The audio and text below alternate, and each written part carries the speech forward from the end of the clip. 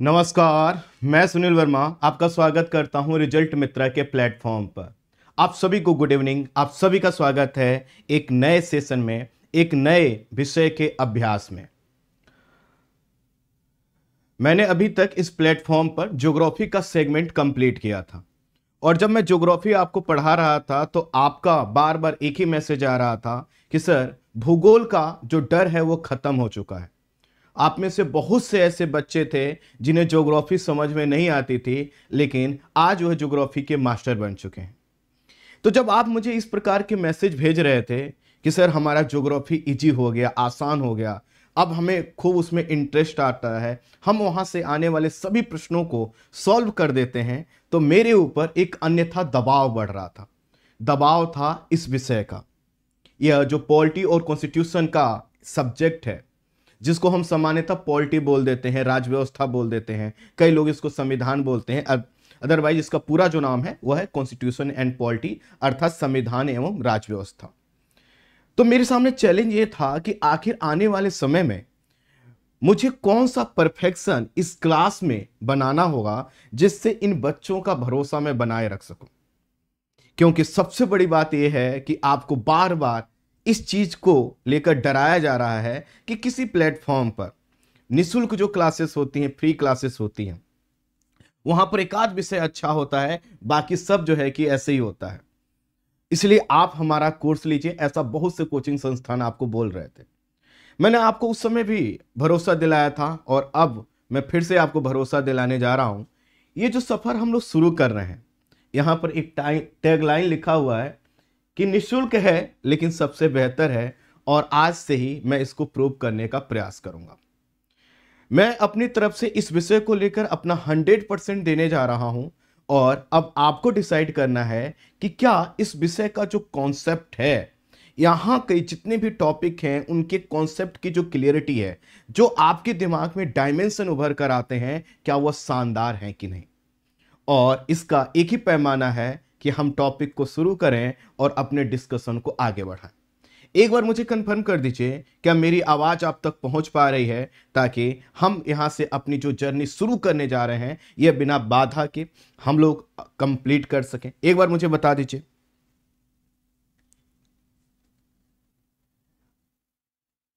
आवाज़ जा रही है? प्लीज़ बता दीजिए। सब क्लियर है? सब क्लियर है? सब क्लियर ओके ठीक है। तो एक बार सेशन को सब लोग लाइक और शेयर कर लीजिए, ताकि अधिक से अधिक स्टूडेंट तक ये क्लास पहुँच सके। क्योंकि हम लोग जो सफ़र शुरू करने जा रहे हैं, इसमें हमारा प्रयास ये होगा कि हम इस विषय को इतने शानदार तरीके से डिस्कस करें कि इस विषय की क्लास जब भी आप यूट्यूब पर देखें, किसी भी ऑनलाइन पेड कोर्स को देखें, या फिर ऑफलाइन क्लास जो सबसे महँगी क्लासेस हैं, उनके स्टूडेंट से आप बात करें तो एक ही उत्तर होना चाहिए कि आपने जो पढ़ा है, उससे बेहतर कुछ भी नहीं हो सकता। आपकी समझ सबसे बेहतर होनी चाहिए। चलिए हम अपने डिस्कशन को प्रारंभ करते हैं। जैसा कि मैंने आपसे कल भी रिक्वेस्ट किया था कि इस क्लास में सभी चीज़ें मैं लिखकर पढ़ाऊँगा, ठीक उसी तरह से जैसा कि आप ऑफलाइन में पढ़ते हैं। जहाँ पर मुझे लिखवाने की ज़रूरत होगी, मैं ऐसे बोलूँगा, आपसे कहूँगा कि लिखिए तो कॉपी और पेन निकाल लीजिए नोट्स बनाना चालू कर दीजिए। हमारा जो ये सब्जेक्ट है, इसका टाइटल है संविधान एवं राजव्यवस्था। तो हम आज की क्लास में यही समझेंगे कि आखिर इन दो शब्दों के अर्थ क्या है। लेकिन इन शब्दों के अर्थ को समझने से पहले हमें यह समझना होगा कि यह जो विषय है, जिसको हम डिस्कस करने जा रहे हैं, इसका इंपॉर्टेंस क्या है। और इंपॉर्टेंस को हम फिल्म्स के पॉइंट ऑफ़ व्यू से देखते हैं मेंस के पॉइंट ऑफ़ व्यू से देख लेते हैं। फिर ये देखते हैं कि आखिर इसका सिलेबस क्या है। और अगला जो प्रश्न होगा कि हमें किस तरह के नोट्स बनाने चाहिए, कौन सी किताबें पढ़नी चाहिए, अर्थात हमारे पास सोर्स क्या क्या होंगे। और उसके बाद मैं इन दोनों शब्दों को समझाते हुए इस टॉपिक को स्टार्ट कर दूँगा। ठीक है? तो चलिए, सबसे पहले हम जो हमारा डिस्कशन है, इसको हम कुछ भागों में डिवाइड कर लेते हैं। सबसे पहले हम ये देखते हैं कि ये जो सब, एक हम डिसिप्लिन एक सब्जेक्ट जो स्टार्ट कर रहे हैं, जिसका हिंदी में है, जिसे हम नाम देते हैं संविधान एवं राज व्यवस्था इंग्लिश में कॉन्स्टिट्यूशन एंड पॉलिटी इसका इंपॉर्टेंस अर्थात महत्व क्या है? और महत्व को भी हम दो हिस्सों में बांट लेते हैं। पहला है, प्रारंभिक परीक्षा के स्तर पर हम देख लेते हैं। नोट करते चलिएगा, और उसके बाद मुख्य परीक्षा। फिर अगला हमारा जो डिस्कशन होगा, उसमें हमें बात करना है सिलेबस के विषय में, अर्थात पाठ्यक्रम के विषय में, ठीक है? तो हम देखेंगे हमारा जो पाठ्यक्रम है सिलेबस है, वह क्या है। और यह जो पाठ्यक्रम है, इसको भी हम दो हिस्सों में देखेंगे। प्रारंभिक परीक्षा का जो पाठ्यक्रम है, उसमें क्या मेंशन है? जो मुख्य परीक्षा का हमारा पाठ्यक्रम है या सिलेबस है, उसमें क्या क्या शब्द लिखा हुआ है? क्योंकि ऐसा नहीं है कि यह जो विषय है आप जिसको देख रहे हैं, आप में से अधिकांश लोगों ने इस पेज को देखा होगा तो उनको लग गया होगा अच्छा अच्छा एम लक्ष्मीकांत पढ़ना है। आगे मैं सभी चीज़ें आपको बताऊँगा। ये जो किताब है ये तो हमें पढ़ना ही है, लेकिन अगर हम इस विषय में अपने आप को मास्टर बनाना चाहते हैं। मास्टर का मतलब ये है कि यहाँ से आने वाले सभी प्रश्नों को मुस्कुरा के सॉल्व करना चाहते हैं तो थोड़ा हमारा जो एफर्ट है, वह इस किताब से आगे जाएगा। थोड़ा नहीं, बहुत आगे जाएगा। तो हम इसका पाठ्यक्रम डिस्कस करेंगे, ठीक है? फिर इसके बाद हम देखेंगे सोर्स अर्थात हमारे स्रोत क्या होंगे पढ़ाई के। क्या आपको सिर्फ़ क्लास करना है? क्या आपको नोट्स बनाना है? क्या आपको किताब लेना है? क्या आपको एनसीईआरटी पढ़नी है? फिर हम देखेंगे कि आखिर जो प्रश्न आते हैं, उन प्रश्नों की प्रकृति क्या है? प्रश्नों की प्रकृति। और मैं यहाँ पर प्रश्न आपको एक दो प्रश्न बताऊँगा और उसी से मैं कुछ चीज़ों को जनरलाइज करने का प्रयास करूँगा। प्रश्नों की प्रकृति सिलेबस इन सब चीज़ों को इसलिए हमें डिस्कस करना है ताकि हम समझ जाएँ कि आखिर इस पे हम जितनी एनर्जी लगा रहे हैं, उसका आउटपुट हमें किस तरह से बेहतर मिल सकता है और कैसे सबसे ज़्यादा हम जो है कि प्रोडक्टिव तरीके से इस सब्जेक्ट को कंप्लीट करें, ठीक है? और इसके बाद हम क्या करेंगे? अपना यह जो सिलेबस का जो टाइटल है है ना? जो शीर्षक है, इस शीर्षक को हम डिस्कस करते हुए अपने सिलेबस को प्रारंभ कर देंगे, ठीक है? अर्थात अपने पाठ्यक्रम को हम आज से ही पढ़ना चालू करेंगे। तो यहाँ तक हमारी जर्नी होने वाली है और आज ही हम पूरा जो है कि पढ़ाना आपको चालू करेंगे, आपके एक एक टॉपिक को डिस्कस करना चालू करेंगे। तो सबसे पहले हम बात कर लेते हैं इंपॉर्टेंस की। तो यहाँ से आने वाले अगर प्रश्नों की फ्रीक्वेंसी को हम देखें एक साल नहीं, दो साल नहीं, पिछले दस से बारह वर्षों के प्रश्नों की फ्रीक्वेंसी देखें तो यहाँ से लगभग हर साल आपको पंद्रह से सोलह क्वेश्चन देखने को मिलेंगे। इसका मतलब है कि यह यूपीएससी सीएससी के प्रारंभिक परीक्षा के पॉइंट ऑफ़ व्यू से सबसे महत्वपूर्ण विषय के रूप में जाना जाता है। अब आप कहेंगे कि नहीं सर, इससे ज़्यादा भी क्वेश्चन किसी विषय से किसी वर्ष आए हैं। जैसे इकोनॉमी में आप देखेंगे, कई बार इकोनॉमी से 22 22 क्वेश्चन आए हैं।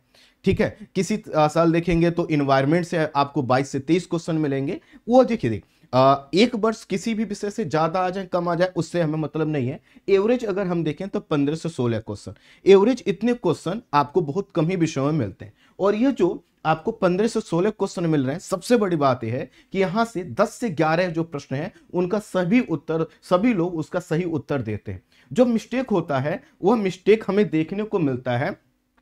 पाँच से छह प्रश्नों में। लेकिन मैं आपको भरोसा दिलाता हूँ, मैं आपसे वादा करता हूँ कि आप अगर इस पूरे सफ़र को ईमानदारी से करेंगे जैसे जैसे जो चीज़ें मैं बताऊँगा, आप उसको मानते चलेंगे तो आप देखिएगा, आपका जो सफ़र है, वह इतना शानदार होगा कि पंद्रह क्वेश्चन आएँगे तो पंद्रह के पंद्रह सही होंगे। पूछिए मैं ऐसा क्यों कह रहा हूँ? क्योंकि ये जो विषय है ना, ये आपके खून में भरा हुआ है। राजनीति, है ना? अभी देखेंगे ना तो पॉलिटी जो शब्द है, इसको जब मैं डिफाइन करूँगा तो इसी से एक शब्द निकलेगा पॉलिटिक्स और आप हर जगह क्या करते हैं, आज पॉलिटिक्स देखते हैं तो इस विषय को बस मुझे दिशा देनी है।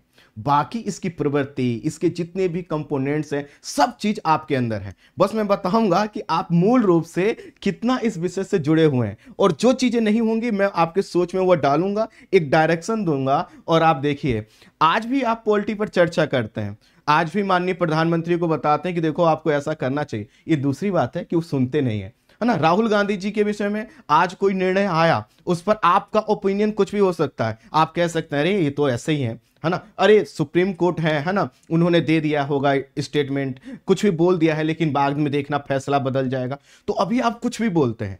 लेकिन जब ये क्लास आप कंप्लीट कर लेंगे ना तो जब आप बोलेंगे तो आज जो, जब आप चाय की दुकान पर, नुक्कड़ पर, घर के सामने किसी चौराहे पर खड़े होकर अपनी बात बोलते हैं, और उसमें सबको पता चलता है कि भैया, राजनीति के बहुत बड़े ज्ञाता हैं। तो आज आपकी बात सुनने वाले दस लोग हैं। तो हो सकता है उसमें से दो लोग जो ठीक से पॉलिटिक्स को समझते हो कॉन्स्टिट्यूशन को समझते हो, वो आपसे कहेंगे, अतार्किक व्यक्ति है, कुछ भी बोलता है। दस दिन बाद वही लोग आपसे कहेंगे दस दिन बाद वही लोग आपसे कहेंगे, क्या व्यक्ति बोलता है? आप, आपसे लोग ये पूछने वाले हैं, भैया, वकील हो क्या? एडवोकेट हो क्या? तो कह देना, नहीं नहीं नहीं, इतना नहीं है। बस इस विषय में रुचि थोड़ी सी ज़्यादा हो गई है। हम इस विषय को बड़े गहराई से मन से पढ़ बैठे हैं, क्योंकि इसमें एक शब्द है कॉन्स्टिट्यूशन और मुझे जिस क्षेत्र में जाना है, किस क्षेत्र में जाना है आपको? अधिकारी बनना है, जिला चलाना है, राज्य चलाना है, देश चलाना है तो आपके पास जिस चीज़ की सबसे बेहतर जानकारी होनी चाहिए, वो है कॉन्स्टिट्यूशन वो है पॉलिटी और अभी मैं जब पॉलिटी को डिफाइन कर दूँगा तो ये बात और आपको क्लियर हो जाएगी कि हमें देश को चलाने के लिए किसकी जानकारी होनी चाहिए। तो जिस चीज़ की आपके अंदर, जो आपकी पर्सनालिटी में झलकने वाली है, जब आप ज़िले के स्तर पर जाएँ, राज्य के स्तर पर जब आप नेतृत्व करेंगे तो जनता जो आपके अंदर देखती है, वह इसी वैल्यू को देखती है, वही वैल्यू मैं यहाँ पर क्रिएट करने वाला हूँ। थोड़ा सा आगे बढ़ते रहिए, देखते रहिए। आपने मुझसे कहा था ना स्टार्टिंग मैंने बताया कि सर ज्योग्राफी ऐसे पढ़ा है, मज़ा आ गया। पॉलिटी पढ़ा पाओगे ऐसे? हमने कहा, कोशिश करेंगे और देखते हैं कितना सफल हो पाते हैं। क्योंकि हम कुछ भी बोल रहे फैसला तो आपको करना है और आप ही सबके, आप क्या हैं? जज हैं। और जज हमारा यहाँ पर पूरा जो प्रयास है, वह कितना मेहनत भरा है, कितना जो है कि अट्रैक्टिव है, कितनी समझ क्लियर कर पाते हैं, ये तो क्लास के अंत में आपको पता चलेगा। तो कुल मिलाकर पंद्रह से सोलह क्वेश्चन यहाँ से आते हैं। इसके मतलब यह है कि मैं अगर इसको कहूँ तो मैं इस सेगमेंट को फाइव स्टार दे सकता हूँ और मैं आपसे कह सकता हूँ कि भैया, प्रारंभिक परीक्षा को क्रैक करना है तो हमें इस टाइटल वाला जो ये हमारा टॉपिक है, ये जो सेगमेंट है, इस पर हमारी पकड़ मज़बूत होनी चाहिए। इसलिए मज़बूत होना चाहिए क्योंकि सभी लोग 10 से 11 प्रश्नों तो सही करते हैं। तो हमें पहला अप्रोच हमारा ये होगा कि जिस प्रश्नों को सब लोग सही कर रहे हैं, हमारा वो भी सही होना चाहिए। उसके बाद आ जाती है चार से चार से पाँच प्रश्न, जिसको सामान्यतः लोग गलत कर देते हैं। वो गलत क्यों करते हैं, वो भी मैं आगे बताऊँगा। तो हमें क्या करना है, यहीं पर लीड ले लेना है। चार से पाँच क्वेश्चन की अगर हमने लीड ले ली तो अपने आप हमारे सफल होने की जो पॉसिबिलिटी है, वो बढ़ जाएगी।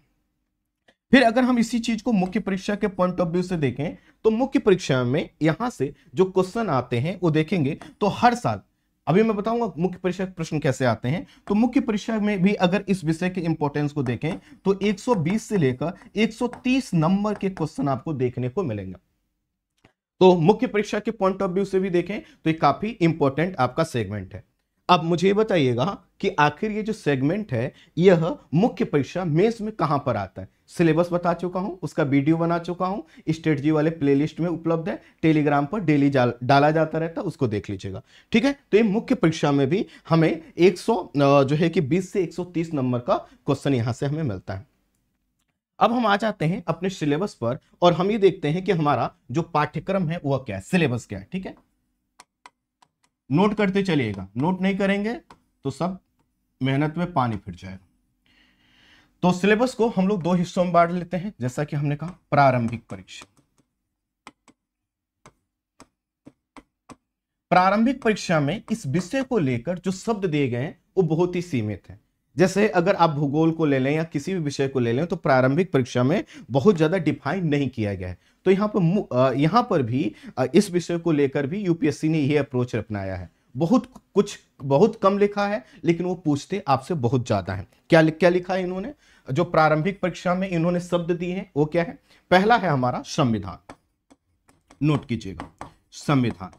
अर्थात पॉलिटी वाले सेगमेंट से कॉन्स्टिट्यूशन और पॉलिटी के सेगमेंट से जिस विषय पर प्रारंभिक परीक्षा में आपसे प्रश्न पूछा जाएगा, उसमें पहला जो शब्द इन्होंने दिया है वह है संविधान। दूसरा है राजनीतिक प्रणाली। राजनीतिक प्रणाली। नोट करते चलिएगा। सिलेबस इसलिए समझ लीजिए ताकि आप अपनी मेहनत को दिशा दे सकें। जब तक आपको ये नहीं पता होगा सिलेबस क्या है, तब तक आप सही से अपने समय को यूटिलाइज नहीं कर पाएँगे, आप फोकस नहीं कर पाएँगे आपको क्या पढ़ना है। एग्जैक्ट क्या पढ़ना है वो नहीं पढ़ पाए, समझ पाएँगे। ठीक है, अगला जो शब्द है वह है पंचायती राज। वह है पंचायती राज। जो चौथा शब्द इन्होंने दिया है वह है लोक नीति पब्लिक पॉलिसी। लोक नीति और जो पांचवा शब्द इन्होंने दिया है, वह है अधिकार संबंधी मुद्दे। अधिकार संबंधी मुद्दे। ठीक? तो इतना इन्होंने दिया है। लेकिन पूछते क्या है? वो सब कुछ पूछ लेते हैं।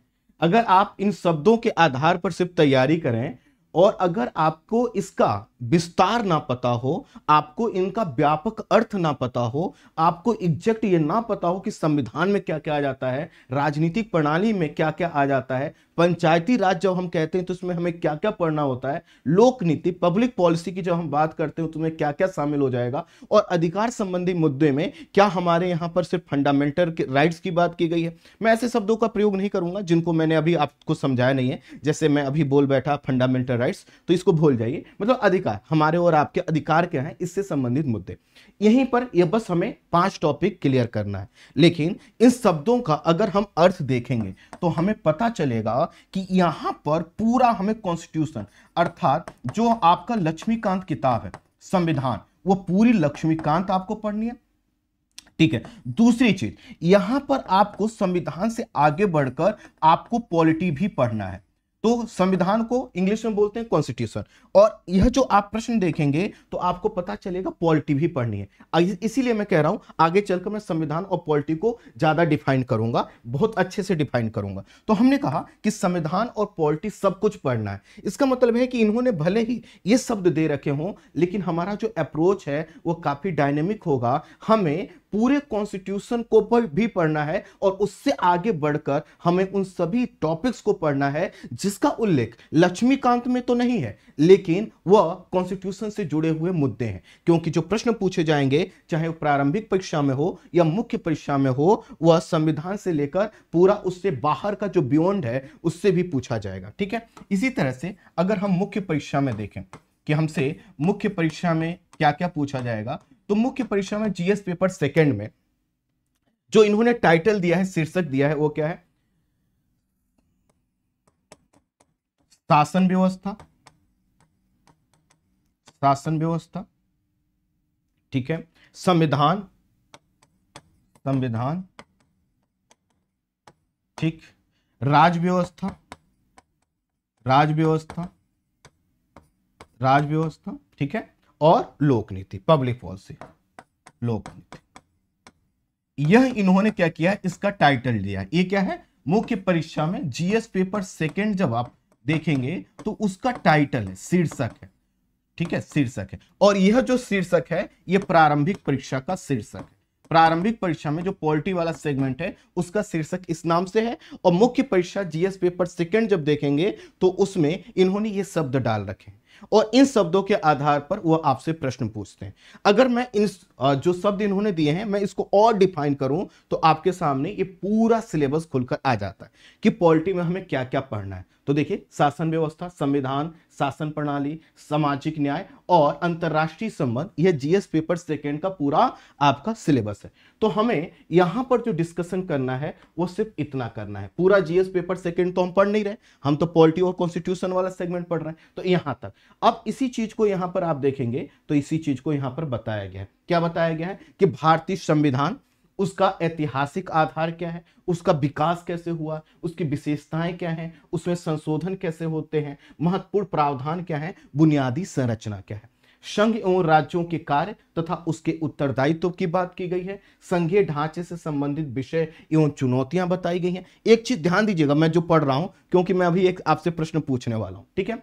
स्थानीय स्तर पर शक्तियों और फाइनेंस का हस्तांतरण कैसे होता है? उसकी में कौन कौन सी चुनौतियाँ आ रही हैं? विभिन्न घटकों के बीच शक्तियों का पृथककरण, समस्या एवं समाधान तंत्र की बात की गई है। भारतीय संवैधानिक योजना की अन्य देशों के साथ तुलना की बात की गई है। संसद और राज्य विधायिका की बात की गई है। कार्यपालिका और न्यायपालिका की बात की गई है। जनप्रतिनिधित्व अधिनियम की बात की गई है। विभिन्न संवैधानिक पदों पर नियुक्ति और उनके संवैधानिक निकायों की शक्तियों पर बात की गई है, विधिक रेगुलेटरी और विभिन्न अर्ध न्यायिक निकाय पर बात की गई है। तो इस तरह से अगर देखें तो इतना इन्होंने सिलेबस दिया है।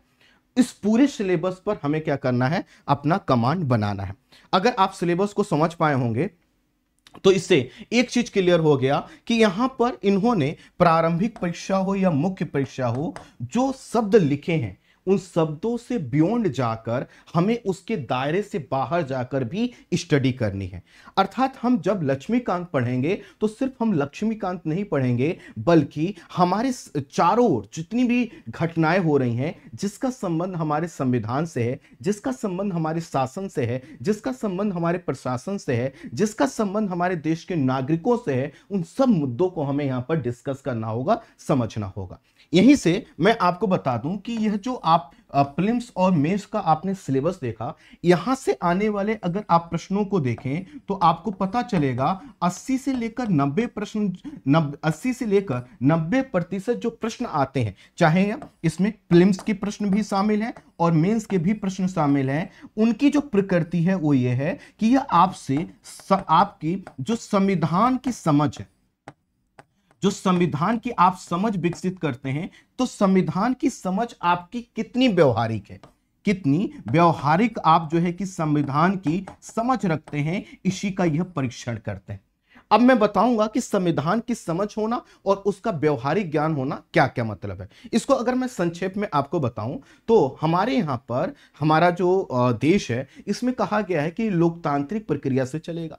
इसमें समय पर चुनाव होंगे, चुने हुए जो प्रतिनिधि हैं, वह हमारे लिए कानून बनाएँगे, वह हम उनको चुनकर भेज रहे हैं वो मुख्यमंत्री बनेंगे, प्रधानमंत्री बनेंगे, लेकिन हमेशा जनहित में काम करेंगे। अब व्यवहारिक प्रश्न ये है कि क्या वह ऐसा करते हैं? क्या वो जितने कानून बनाते हैं क्या क्या हम सभी कानूनों से खुश होते हैं? क्या हमारा कभी उनके प्रति असंतोष नहीं होता? और असंतोष होता है तो उसको हम कैसे कैसे व्यक्त करते हैं? किस तरह से आंदोलन करते हैं? किस तरह से हम हड़ताल करते हैं? किस तरह से विरोध प्रदर्शन करते हैं? ये सभी चीज़ें क्या है? व्यवहारिक समझ से जुड़ी हुई है। अर्थात किसी, जो चीज़ संविधान में लिखी हुई है, उसको हम जब लागू कर रहे हैं तो उसमें कौन कौन सी व्यवहारिक चुनौतियाँ आ रही हैं? इन सब चीज़ों को हमें क्या करना होता है? देखना और समझना होता है। इसका मतलब मैंने यहाँ पर आपको जो समझाने का प्रयास किया कि आपको क्या करना है, संविधान पर अपनी समझ को विकसित करना है। यहाँ पर ध्यान दीजिएगा, जो ये प्रश्नों के नेचर और फ्रीक्वेंसी को देखेंगे, एक चीज़ क्लियर हो जाएगा कि यहाँ पर जो भी आपसे प्रश्न पूछे जाएँगे,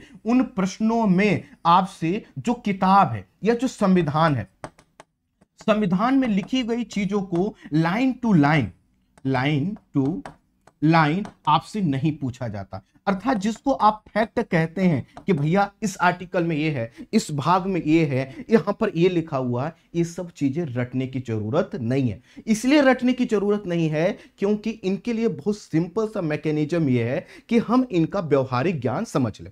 आपको मैं एक छोटा सा एग्ज़ाम्पल देता हूँ। हम सब लोगों ने कभी ना कभी केमिस्ट्री पढ़ा होगा। और केमिस्ट्री में इतने नाम आते थे कि भैया ये वाला रसायन इस काम आता है, ये वाला रसायन इस काम आता है। और इन रसायनों के चक्कर में हमारे दिमाग का रसायन खराब हो जाता था। घर वाले कहते थे कि जो है कि चीनी लेकर आओ, हम जो है कि कुछ और लेकर आ जाते थे। वो हमसे जीरा मांगते थे, हम कुछ और लेकर आ जाते थे क्योंकि दिमाग का रसायन बदल चुका था। लेकिन आपने देखा होगा कि जब वही चीज़ें आपको कुछ चीज़ों का प्रैक्टिकल करवा दिया जाता था कि भैया, अब आपने ये वाला केमिकल डाला, अब इसके साथ ये वाला केमिकल डाला। अब देखो क्या परिणाम प्राप्त होता है। तो आप उसको जीवन भर, आज तक आप नहीं बोले होंगे कि इस तरह का आपने प्रैक्टिकल किया होगा। क्यों? क्योंकि आपने कर कर देखा। ठीक इसी तरह से जो हमारा संविधान है, इसको हमें रटने की ज़रूरत नहीं है।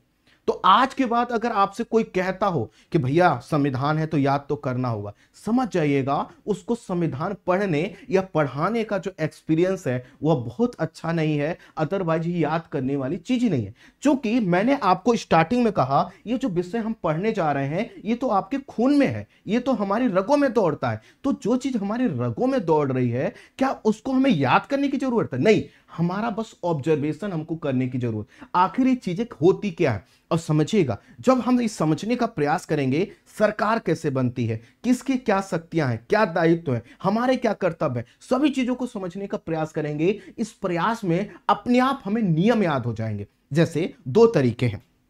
हम क्या करें? एक कंपनी बनाते हैं, मान लो, ठीक है? एक कंपनी बने। अब इस कंपनी को चलाने के लिए हम क्या करें? सौ नियम बनाए। और सभी को कहते हैं नियम रट कर आओ। और सब लोग कल बताओ। ये हो सकता है अव्यवहारिक लगे और किसी को याद ना हो पाए। लेकिन हम उनसे कहें कि देखो भाई, हमें इन नियमों के तहत काम करना है। ऐसा करो, हम कार्य करते रहते हैं। और हम क्या करते हैं? पहले पाँच काम करते हैं। पाँच काम हमने कर लिए तो इसमें से पाँच नियम हमने कंप्लीट कर लिए। अगले पाँच काम करते हैं, हमने नियम कंप्लीट कर लिए। और सबको बता दिया गया कि आपको इन नियमों को फॉलो करना है।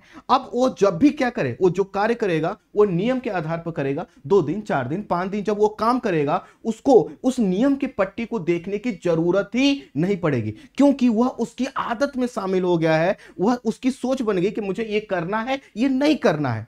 वह अब जो है कि जो रूल के जो टेबल है, उसको नहीं देखेगा। ठीक इसी तरह से जब हम संविधान समझने का प्रयास करेंगे तो अपने आप जितने आर्टिकल हैं जो हमारे एग्ज़ाम के पॉइंट ऑफ़ व्यू से इंपॉर्टेंट है, वह इतने बार हमारे सामने अलग अलग मुद्दों के रूप में आएँगे। कभी हम सुप्रीम कोर्ट का केस देखेंगे, कभी हाई कोर्ट का कोई जजमेंट देखेंगे, कोई हम विवाद देखेंगे, कोई मैं आपको घटनाक्रम बताऊँगा, कोई कोई चीज़ आप न्यूज़ में देखेंगे, कोई चीज़ आप टीवी में देखेंगे और सभी चीज़ों को जब आप मेरे हिसाब से देखने लगेंगे तो आप देखिएगा, जो संविधान आज आपको आर्टिकल डराते हैं मुझे भी आर्टिकल याद नहीं है। मैं कभी भी आर्टिकल याद नहीं करता लेकिन आप देखिएगा, सब आर्टिकल आपके दिमाग में होंगे। जैसे कि मैंने कहा स्टार्टिंग में कि हमारा प्रयास यह है कि हम आपको इस सब्जेक्ट में इतना साउंड कर दें, इतना मज़बूत कर दें कि जब भी आज के बाद आप किसी से बोलें कि भैया मैं इस मुद्दे पर यह राह रखता हूँ। तो वह लोग सभी लोग नतमस्तक होकर कहें कि भैया कितना अच्छी बात करते हो, क्योंकि आप वही बोलोगे जो संविधान में लिखा है। और संविधान में लिखी हुई चीज़ों को कब बोल पाओगे? जब वो याद हो जाएँगे। और याद हो जाए, इसके लिए याद करने की ज़रूरत नहीं है, बल्कि उनको जीने की ज़रूरत है, उनको देखने की ज़रूरत है। जैसे मैं आपसे कहूँ कि भैया, ऐसा करना है कि आपको यह एक नक्शा दे दिया मैंने। आपको मैंने यह दिया एक ज़िले का नक्शा। और मैंने कहा, इसको याद कर लो कौन सी चीज़ कहाँ पर है। आप क्या करोगे? एक दिन, दो दिन रटोगे, भूल जाओगे। मैं आपसे कहूँ कि भैया, इस ज़िले का हमें देखना है, नक्शा बनाना है। ये रहा हमारे पास नक्शा। चलो, ऐसा करते हैं, इस ज़िले को घूम आते हैं। हम लोग गए, घूमे, फिरे, सब चीज़ हमने देखा। अब बताइए, अगर आप सिर्फ़ नक्शे से काम चलाते तो क्या आप कभी इस ज़िले को याद कर पाते? कौन सी चीज़ कहा? कभी नहीं कर पाते। अब आप घूम आए क्या इस ज़िले को आप कभी भूल पाओगे? नहीं। दस साल बाद भी कोई पूछेगा, भैया, मैं वहाँ पर गया था। आप कहोगे हाँ हाँ ठीक बात है। उसके बगल में वाली दुकान है, वो वाले मॉल की बात कर करें उस पार्क की बात कर रहे वहाँ पर बस स्टैंड है। सब याद है। क्यों? क्योंकि आपने देख लिया। ठीक इसी तरह से जब हम संविधान को समझने लगेंगे, इसको हम जीना चालू कर देंगे, इसको हम ये समझना चालू कर देंगे तो इसके जो नियम हैं, वो अपने आप आपके दिमाग में आते चले जाएँगे। और जब दिमाग में नियम आने लगे, जब आपकी सोच संवैधानिक बनने लगे तो समझ जाइएगा कि आप अब अच्छे अधिकारी बनने के लिए तैयार हो गए हैं, आप ब्यूरोक्रेसी में जाने के लिए तैयार हो गए। और यही वो सेगमेंट है, जो आपको यह तुरंत भरोसा दिलाएगा कि वास्तव में अधिकारी वाले गुण तो हैं हमारे पास। जैसे एक अधिकारी जब आप उसके सामने आंदोलन करने जाते हैं जब आप, उसको अपना प्रार्थना पत्र देने जाते हैं कोई मांग करने जाते हैं कोई समस्या बताने जाते हैं वो क्या बोलता है वही चीज़ आप यहाँ पर बोलने वाले ध्यान दीजिएगा उस अधिकारी ने भी नियमों को रटा नहीं है बल्कि समझा है उसको समाज में होते हुए देख रहा है। वह कभी भी किताब लेकर नहीं चलता है कि भैया आईपीसी सीआरपीसी ये वो किताब कुछ नहीं सब उसको व्यवहारिक चीज़ है। तो यही चीज़ क्या होता है आपको यहाँ पर देखना है मैंने कहा कि हमें संविधान से आगे बढ़कर संविधान की समझ विकसित करनी है और इसके व्यवहारिक मुद्दे पर हमें ध्यान देना है, क्योंकि 80 से 90 परसेंट क्वेश्चन, चाहे फिल्म्स के हों या मेंस के हों वह इसी से आएँगे, आर्टिकल से नहीं आएँगे। इस आर्टिकल में क्या लिखा है? और मैं सही बता रहा हूँ, जिस आर्टिकल में के विषय में पूछा है, क्या लिखा है, वह आपका इतना कॉमन आर्टिकल होगा, वह आपको याद भी होगा, कोई सपने में भी आपसे पूछेगा ना कि आर्टिकल क्या है, आप बता दोगे, देखो भैया आर्टिकल ये है, उससे जुड़े मुद्दे ये हैं, ये केस हुआ था, ये घटनाक्रम हुआ था। तो जब आप सोते समय बता रहे हो तो एग्ज़ाम हॉल में नहीं बता पाओगे, आप ही बताओगे, इस चीज़ मैं प्रूव करवाने वाला हूँ, बस थोड़ा सा आपको समय देना होगा, ठीक है? अब हम आ जाते हैं कि हमें सोर्स क्या क्या यूज़ करने होंगे। तो देखो सोर्स के विषय में मैं पहले, मैं बार बार आपसे कहता रहा हूँ कि सोर्स में हमें ज़्यादा ज़्यादा चीज़ों को हमें इकट्ठा नहीं करना है। हमें यहाँ पर सोर्स के रूप में सबसे पहली जो हमारी प्रायोरिटी रहेगी, वह होगी हमें क्लास करना है।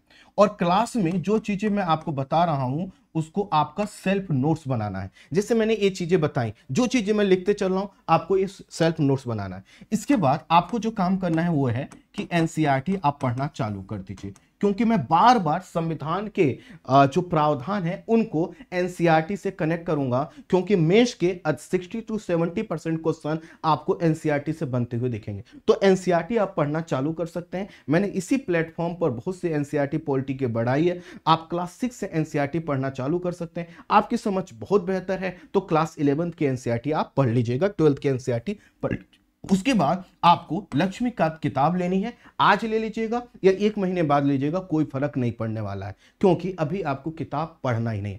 अभी आपको सिर्फ़ और सिर्फ़ क्लास पर और इसके रिवीजन पर आपको फोकस करना है। जब आप लक्ष्मीकांत आप ले लेंगे और ये क्लास जब कुछ कंप्लीट हो जाएगी, तब आप लक्ष्मीकांत पढ़िएगा। आज पढ़ेंगे, समय ज़्यादा लगेगा। क्लास को कुछ दिन करने के बाद जब पढ़ेंगे तो अपने आप देखिएगा, जो चीज़ें वहाँ पर आपको थोड़ा सा भारी लग, अभी लग सकती थी, वह इतनी आसान लगेंगे। और एक महीने बाद जो लक्ष्मीकांत है, आपको लगेगा, इतनी अधूरी किताब कैसे हो सकती है? है ना? और जब ये आपको पता चल जाए कि इसमें कम लिखा है, आप ज़्यादा जानते हो, समझ जाना समझ जाना। यह वाली जो कंडीशन थी ना कि चार से पाँच क्वेश्चन गलत जो जिन लोगों के हो जाते हैं, आपके नहीं होंगे, आप इस पे आ चुके हो।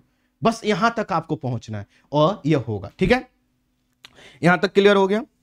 यहाँ तक क्लियर हो गया? अब मैंने कहा कि क्वेश्चंस के नेचर पर, चलो क्वेश्चन पर हम बाद में बात कर लेंगे कि किस प्रकार के क्वेश्चन आते हैं। अब हम टॉपिक स्टार्ट करते हैं। क्लियर है? यहाँ तक क्लियर है? यहाँ तक क्लियर यहाँ तक क्लियर? एक बार सब लोग सेशन को बच्चों सेशन लाइक और शेयर नहीं कर रहे हो क्या आप लोग? लाइक और शेयर नहीं कर रहे हैं। अरे बच्चे, ये बहुत अल्टीमेट क्लास है। इसको लाइक और शेयर करते रहिए। इसको लाइक और शेयर करते रहिए, ठीक है? ठीक है। चले। अब हम क्या करते हैं? इन दो शब्दों को समझना स्टार्ट करते हैं। हमने कहा, हमारा जो जर्नी होगा, वह इन दो शब्दों से होगा। तो हमें जो शब्द समझने हैं, हम अब टॉपिक स्टार्ट कर रहे हैं, ठीक है? क्योंकि देखो बड़ी बड़ी बातों से कुछ होने वाला नहीं है। आज मैं आपको कह दूँ, मैं ऐसा करूँगा, मैं ऐसा करूँगा। और अंत में आप गए तो कुछ हुआ ही नहीं तो आपका भ्रम टूट जाएगा। इसलिए हमें क्या करना है, हमें शानदार तरीके से इस पर अपनी कमांड बनाना तो पहला जो शब्द है, जो हमारी टॉपिक वह हमें डिस्कस करना है। ये जो सब्जेक्ट का टाइटल है, संविधान एवं राज व्यवस्था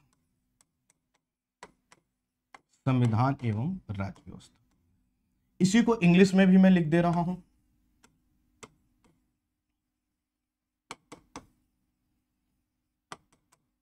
कॉन्स्टिट्यूशन एंड पॉलिटी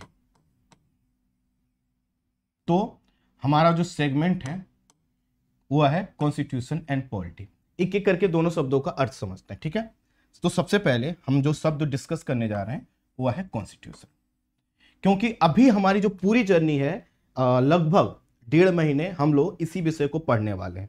मतलब ऐसा नहीं कि और विषय नहीं पढ़ेंगे, लेकिन हाँ हम लोग डेली इस क्लास को करने वाले हैं। तो इसके लिए ज़रूरी है कि हम इस शब्द को और इस शब्द को अच्छे से समझ जाएँ, ताकि हमें पता हो कि आगे हम क्या क्या डिस्कस करने वाले तो पहला जो शब्द है, वो है कॉन्स्टिट्यूशन इसको हिंदी में हम लोगों ने कहा यह है संविधान। तो यहीं पर हम नोट कर लेते हैं, संविधान। अब देखिए शॉर्ट नोट्स आप कैसे बनाते हैं, उस चीज़ को यहाँ पर सीखिए। यहाँ पर कैसे शॉर्ट नोट्स बनाया जाता है, वो देखिए, और आपके पास इसी प्रकार का शॉर्ट नोट्स होना चाहिए। पूरा जो कॉन्स्टिट्यूशन है, लक्ष्मीकांत किताब है, आप देखेंगे तो बहुत मोटी किताब है है ना? मैं तो देख कर उससे डर जाता हूँ, इतने पेजेस की वो किताब है। लेकिन आपके पास जो पॉलिटी ऑफ़ कॉन्स्टिट्यूशन का नोट्स होना चाहिए, वो मैक्सिमम डेढ़ सौ से लेकर 180 पेज का होना चाहिए। अगर आपकी राइटिंग ठीक है तो इससे ज़्यादा पेज नहीं लगेंगे। और पूरे पॉलिटी और कॉन्स्टिट्यूशन को अगर आप रिवाइज करना चाहें तो एक दिन में रिवीजन कर सकें, ऐसा नोट्स आपको तैयार करना है। तो चलिए, हम संविधान को समझना चालू करते हैं। संविधान क्या है ना? अब देखिए, संविधान को समझने से पहले आप थोड़ा सा इस विषय को जितना आप व्यवहारिक बनाएँगे ना, उतना ही अच्छा। हमने और आपने क्या किया? एक कंपनी फॉर्म किया कंपनी बनाया। अब ये जो कंपनी है, ये कैसे चलेगी, इसके लिए हमें कुछ नियम बनाने पड़ेंगे। और नियमों को हम क्या करेंगे? सबको बता देंगे कि भाई देखो, ये नियम है। नियम क्या होंगे? कि किसके क्या अधिकार हैं। कौन टॉप लेवल पर मैनेजमेंट करेगा? कौन छोटे लेवल पर मैनेजमेंट को देखेगा? कौन पैसे का लेन देन करेगा? कौन मार्केटिंग का काम करेगा? कौन जो है कि लोगों से बात करेगा? प्रोडक्ट की क्वालिटी क्या होनी चाहिए? वगैरह वगैरह। इस सब आपने क्या कर दिया? नियम बना दिया। तो जब आपने नियम बनाया है और इसी नियम के अनुसार जब आपकी कंपनी चलेगी तो आपको क्या होगा? जो आप करना चाहते थे, वो कर ले जाएँगे। ठीक इसी तरह से अब हम कंपनी की जगह हम बात कर लेते हैं देश के विषय में। इसी तरह से ये मान लेते हैं ये कोई देश है, कोई कंट्री है है ना? तो जो भी देश या कंट्री होगा, उसको चलाने के लिए हमें क्या करना होगा? उस देश के लिए हमें एक सुप्रीम लॉ बनाना होगा। एक सुप्रीम लॉ बनाना होगा। तो जो संविधान होता है, वो सुप्रीम लॉ ऑफ़ लैंड होता है। इसका क्या मतलब हुआ? किसी देश को चलाने के लिए, किसी देश को, नोट करते चलिए, किसी देश को चलाने के लिए के लिए जो सर्वोच्च विधि होती है जो सर्वोच्च विधि होती है, उसी को हम संविधान कहते हैं। जैसे हमारा देश है तो हमारा देश कैसे चलेगा? क्या मेरे हिसाब से चलेगा? क्या माननीय प्रधानमंत्री जी के हिसाब से चलेगा?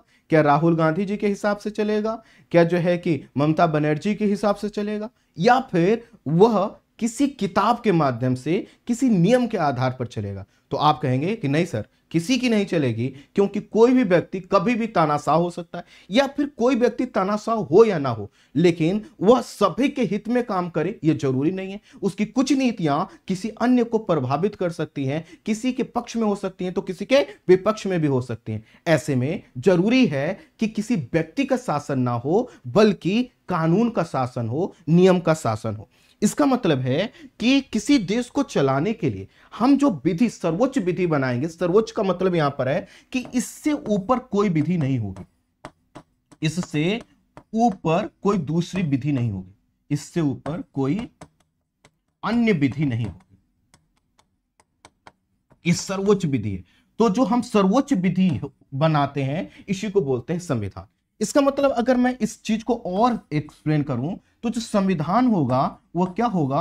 कोई बुक हो सकता है, अर्थात नियमों का जो है कि वह किताब हो सकता है, या फिर वह बंच ऑफ़ डॉक्यूमेंट्स हो सकता है।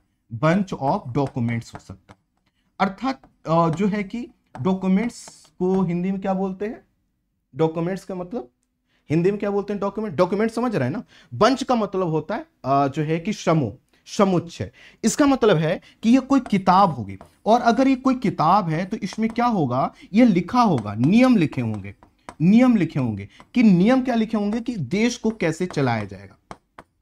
देश को कैसे चलाया जाएगा तो अगर कोई भी देश है, कोई भी जो देश है, अगर उसके यहाँ पर वहाँ पर कोई किताब है, जो यह बताती कि यह देश इसी तरह से चलेगा और हर सरकार उसी को, उसी के अनुसार शासन करती है तो हम कहेंगे कि वही संविधान।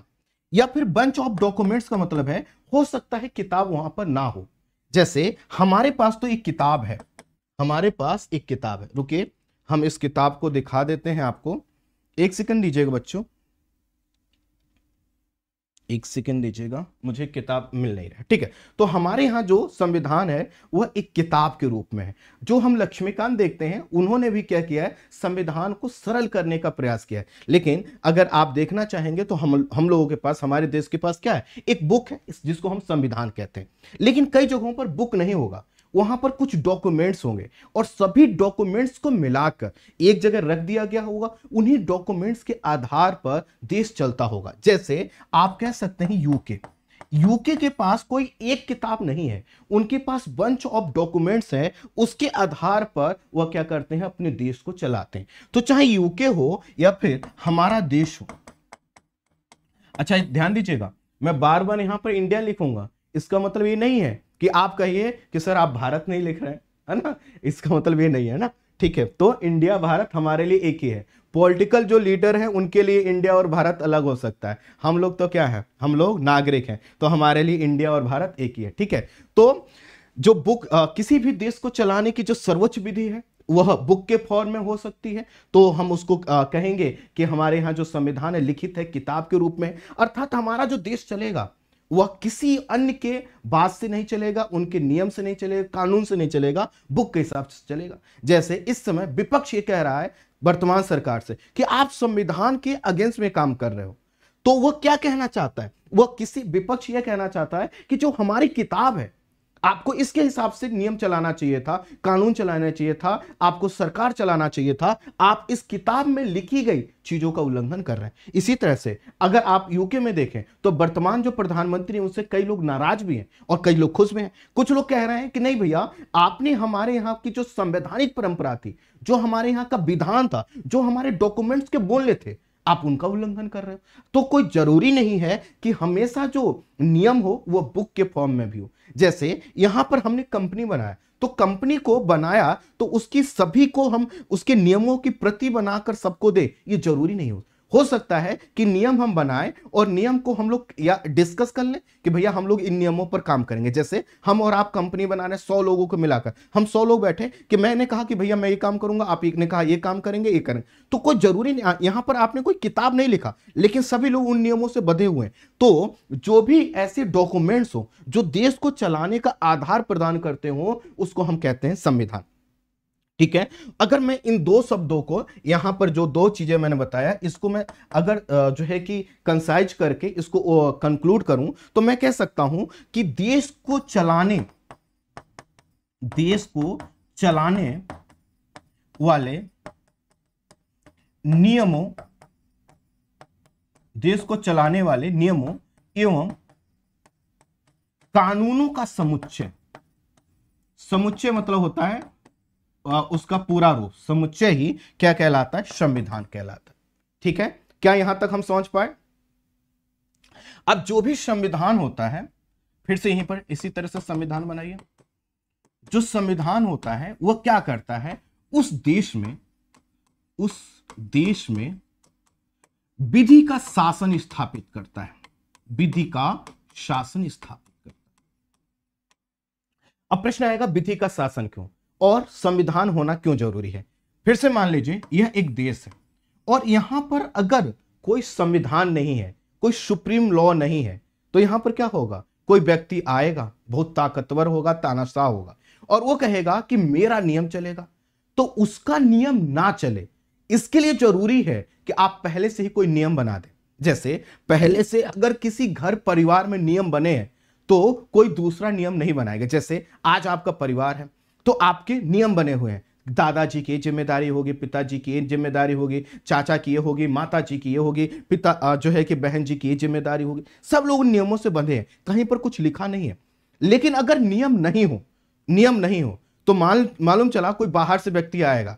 और उसने देखा कोई नियम नहीं है तो कहेगा, हमारा शासन चलेगा। वो अपने नियम बना देगा। तो आप क्या कहोगे? नहीं भाई, पहले से अगर आपके यहाँ नियम है तो कहोगे, देखो भैया, आप बाहर से आए हो, खाना पीना खाओ, और हमारे ये नियम है, इसको आपको मानना होगा। ठीक इसी तरह से जब हम उस देश को चलाने के लिए, जब हमारे पास संविधान होगा तो उससे क्या होगा? वहाँ पर विधि का शासन होगा, क्योंकि संविधान है क्या?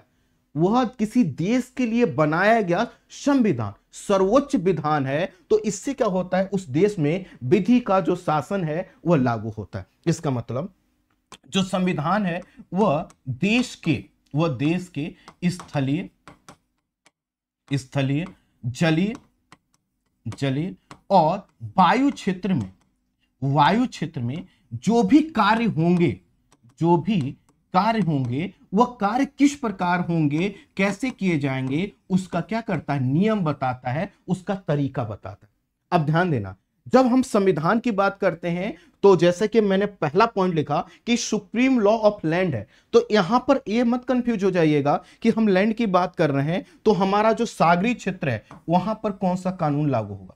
देखिए, जैसे ही है। अब मान लेते हैं, यह हमारा जो जलीय क्षेत्र है तो यहाँ पर भी जो नियम लागू होगा वह कौन सा होगा? यह हमारे संविधान का ही नियम होगा। जैसे, मान लेते हैं, चाइना है। चाइना का एक जो है कि पनडुब्बी चाइना से निकला और चाइना से निकलकर, वह जो है कि अफ्रीका की ओर जा रहा था। उसने सोचा कि हम भारत के किनारे जाएँगे और भारत के किनारे जाकर ठहरेंगे। भारत क्या करेगा? मना कर देगा। क्यों? क्योंकि वह उसका जलीय क्षेत्र है। और कहेगा, देखो भैया, यहाँ पर हमारी संप्रभुता है। संप्रभुता का मतलब है कि जहाँ पर अधिकार किसका है? बात किसकी चलती है? नियम किसके चलते हैं? जैसे आप कहते हो कि मेरे ऊपर सिर्फ़ और सिर्फ़ मैं ही राज करता हूँ। किसी दूसरे की कोई बात मैं मानने के लिए बाध्य नहीं हूँ। तो आप अपने आप को कह सकते हो, मैं संप्रभु हूँ।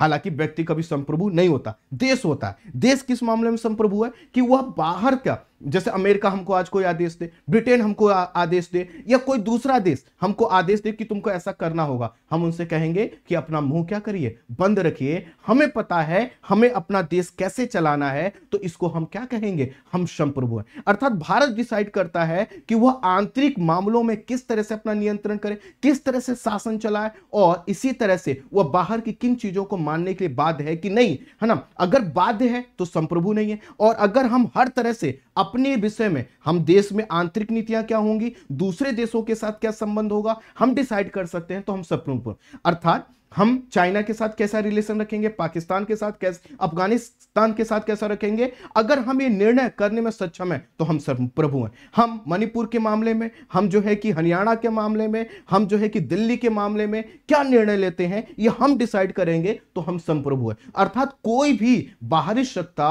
अगर हमें किसी कार्य को करने से नहीं रोक सकती तो हम क्या है संप्रभु हैं। तो हम क्या है संप्रभु तो जो जलीय क्षेत्र है, वह, उसमें भी हमारा क्या होता है? नियम और कानून लागू लागू होते हैं। तो कौन से नियम और कानून? संविधान के। वायु वाला क्षेत्र है, अर्थात दिल्ली के ऊपर का जो हवाई क्षेत्र है, उस पर किसका नियंत्रण होगा? हमारा ही नियंत्रण होगा ना? और उसमें हम क्या कार्य कर सकते हैं, जो हमारा संविधान बताता है? तो कुल मिलाकर, जो संविधान होता है, उस देश में विधि के शासन को स्थापित करता है। उस देश के स्थलीय, जलीय और वायु क्षेत्र में लागू होने वाले नियमों को यह बताता है। यह जो संविधान है यह बताता है। अरे बच्चों, एक सेकेंड। जो संविधान है यह बताता है कि किसी देश का जो शासन है, किसी देश का जो शासन व्यवस्था कैसे चलेगी? शासन व्यवस्था कैसे चलेगी? अब देखिए, यहाँ पर एक नया शब्द आ गया। यहाँ पर आपके लिए एक नया शब्द आ गया, वह है शासन। प्रश्न आएगा, आखिर शासन का अर्थ क्या है? शासन का अर्थ क्या है?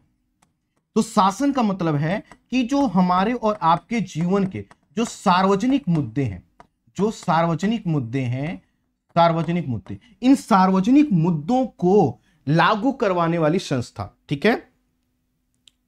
क्लियर है? तो जो हमारे जीवन के सार्वजनिक मुद्दे सार्वजनिक मुद्दे क्या है? कि कानून कैसा होगा, कानून कैसा होगा, हमारी शिक्षा व्यवस्था कैसी होगी, हमारा जो स्वास्थ्य व्यवस्था है, वह कैसी होगी, हमारे यहाँ पर जो सामाजिक नियम है हमारे यहाँ पर जो सामाजिक नियम है, वह कैसे होंगे? हमारे यहाँ पर, है ना, जो आर्थिक प्रणाली है, वह कैसी होगी? आर्थिक प्रणाली, वह कैसी होगी? ये सब डिसाइड कौन करता है? वह संविधान। और संविधान क्या करता है? शासन व्यवस्था को चलाता है। शासन व्यवस्था कैसे चलेगी? निश्चित करता है। शासन का मतलब हुआ सार्वजनिक मुद्दे। शासन का मतलब होता है सार्वजनिक मुद्दे। अब ध्यान दीजिएगा, शासन, आप सुनते होंगे, यह जनप्रतिनिधियों के संदर्भ में। जनप्रतिनिधियों के संदर्भ में। इसका मतलब है कि जब आप मुख्यमंत्री, सीएम की बात करते हैं, जब आप प्रधानमंत्री की बात करते हैं, जब आप प्रधान की बात करते हैं, है ना? तो ये सब लोग क्या है? शासन का हिस्सा है। ये हमारे चुने हुए प्रतिनिधि हैं, जो क्या करते हैं? सार्वजनिक मुद्दों पर निर्णय लेते हैं। कौन से सार्वजनिक मुद्दे? कि भैया, कानून कैसा होगा? शिक्षा व्यवस्था कैसी होगी? सामाजिक नियम क्या होंगे? सामाजिक नियम में मतलब यह है कि दलितों को क्या अधिकार होंगे? वंचित समुदाय के जो लोग हैं, उनके लिए क्या कार्य किया जाएगा? वगैरह वगैरह। ये सब कौन करता है? यह चुने हुए हमारे प्रतिनिधि करते हैं। तो जो चुने हुए प्रतिनिधियों के समूह को हम क्या बोलते हैं? शासन बोलते हैं। और यही शासन क्या करता है? प्रशासन को बताता है, प्रशासन को कहता है। क्या कहता है? कि भैया, आप क्या करो, हमने जो यह नियम बनाए हैं, आखिर यह जो क्या है? हम डिसाइड शासन डिसाइड करेगा कि कानून प्रणाली कैसी होनी चाहिए, शिक्षा व्यवस्था कैसी होनी चाहिए, स्वास्थ्य कैसे होना चाहिए, सामाजिक नियम कैसे होने चाहिए, आर्थिक प्रणाली कैसे होनी चाहिए। तो इसके लिए क्या कर रहा है? शासन क्या करेगा? नियम बनाएगा। नियम बनाएगा या फिर नीति बनाएगा नीति बनाएगा। और नियम और नीति बनाकर वह प्रशासन को कहता है कि आप इन नियमों को या इन नीतियों को लागू कीजिए। इन नीतियों को लागू कीजिए। अब ध्यान दीजिएगा, यहाँ पर बहुत बड़ा एक मैं बात बोलने जा रहा हूँ। शासन क्या करेगा? वह डिसाइड करेगा कानून व्यवस्था कैसी होनी चाहिए, शिक्षा व्यवस्था कैसी होनी चाहिए, स्वास्थ्य का स्तर कैसा होना चाहिए, सामाजिक नियम क्या होने चाहिए, आरक्षण होना चाहिए कि नहीं होना चाहिए, नियुक्ति किसकी कैसी होगी है ना आर्थिक प्रणाली टैक्स क्या लगेगा क्या नहीं वगैरह वगैरह जितनी चीज़ें सब। इस शासन डिसाइड करेगा, शासन कहेगा प्रशासन से। प्रशासन से कहेगा कि भैया आपको क्या करना है, इन नीतियों को लागू करना है। जैसे आप जब डीएम होंगे, आप जब एसपी होंगे, जब आप एसडीएम होंगे तो आप क्या करेंगे? शासन आपको आदेश देगा। अर्थात मुख्यमंत्री साहब आपको आदेश देंगे। मुख्यमंत्री ऑफ़िस आपको आदेश देगा कि भैया, हमने कुछ नियम बनाए हैं, कुछ नीतियाँ बनाए हैं, आप इनको लागू करो। जैसे हैंडपंप को देने की कोई योजना बनाई गई। अब नियम किसने बनाया शासन ने बनाया मुख्यमंत्री जी ने बनाया उनकी जो है कि मंत्री परिषद ने बनाया आप क्या है? प्रशासन का अंग है। आप क्या है प्रशासन का अंग है। आपको कहा जाएगा इन नीतियों को लागू कीजिए। तो आप क्या करेंगे? सबको हैंडपंप ना जो है कि देंगे। आ, उन्होंने नियम बनाया कि अगस्त के माह में क्या होगा? वृक्षारोपण होगा। अब क्या है? आप प्रशासन में आप अधिकारी एसडीएम है डीएम है आप एसएसपी साहब हैं जो भी पद पर हैं तो आप क्या है? प्रशासन का हिस्सा है। आपसे कहा जाएगा कि भैया पेड़ लगने चाहिए उसके लिए पूरी व्यवस्था करिए। तो आप क्या कर रहे हैं? नियमों को लागू करवा रहे हैं। ठीक इसी तरह से सरकार ने नियम बनाया कि अब जो है कि क्या होगा टैक्स की इस प्रणाली में आपसे हाउस टैक्स ज़्यादा लिया जाएगा। तो हाउस टैक्स ज़्यादा लिया जाएगा नियम किसने बनाया? शासन ने। और उसको लागू कौन कर रहा है? प्रशासन। और ये ध्यान दीजिए शासन किस तरह से बन, नियम बनाएगा ये शासन को अधिकार कौन देता है? संविधान। तो संविधान यह बताता है संविधान क्या करेगा? संविधान क्या करेगा? जो हमारा चुने हुए प्रतिनिधि हैं वो शासन कैसे चलाएँ, ये उनको बताएगा। अर्थात जब भी वो नीति बनाएँगे, जब भी वो नियम बनाएँगे तो इनके ऊपर सीमा, इनके ऊपर बाउंड्री क्या रहेगी? इनकी लिमिटेशन क्या रहेगी? ये कोई भी ऐसा कार्य नहीं कर सकते जो असंवैधानिक हो। असंवैधानिक हो। उन्हें जो भी नियम और नीति, नियम बनाने हैं, कानून बनाने हैं, नीतियाँ बनानी है, वो हमेशा क्या होनी चाहिए? संवैधानिक होनी चाहिए। अर्थात जो भी वो कार्य करेंगे, संविधान के दायरे में रह के करेंगे। क्यों संविधान के दायरे में रह के करना होगा? क्योंकि हमारा जो संविधान है, वो खुद बताता है कि शासन व्यवस्था कैसे चलेगी। इसका मतलब है कि मुख्यमंत्री जी आए, आज कहें कि देखो, ऐसा है, अब यहाँ पर ना कोई रोज़गार नहीं होगा। हटा दो, सब कुछ बंद कर दो। फिर उनसे कहा गया, शिक्षा की बात नहीं नहीं, स्कूल क्या ही ज़रूरत है। स्कूल को बंद कर दो, ज़रूरत नहीं है।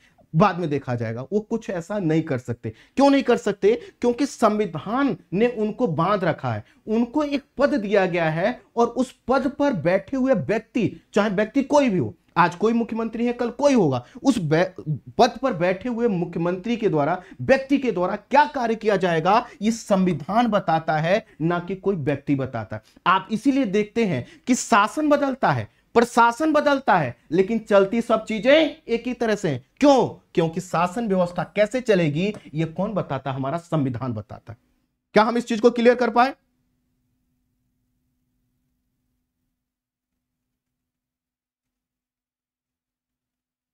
ठीक है? क्या हम इस चीज़ को समझ पाए?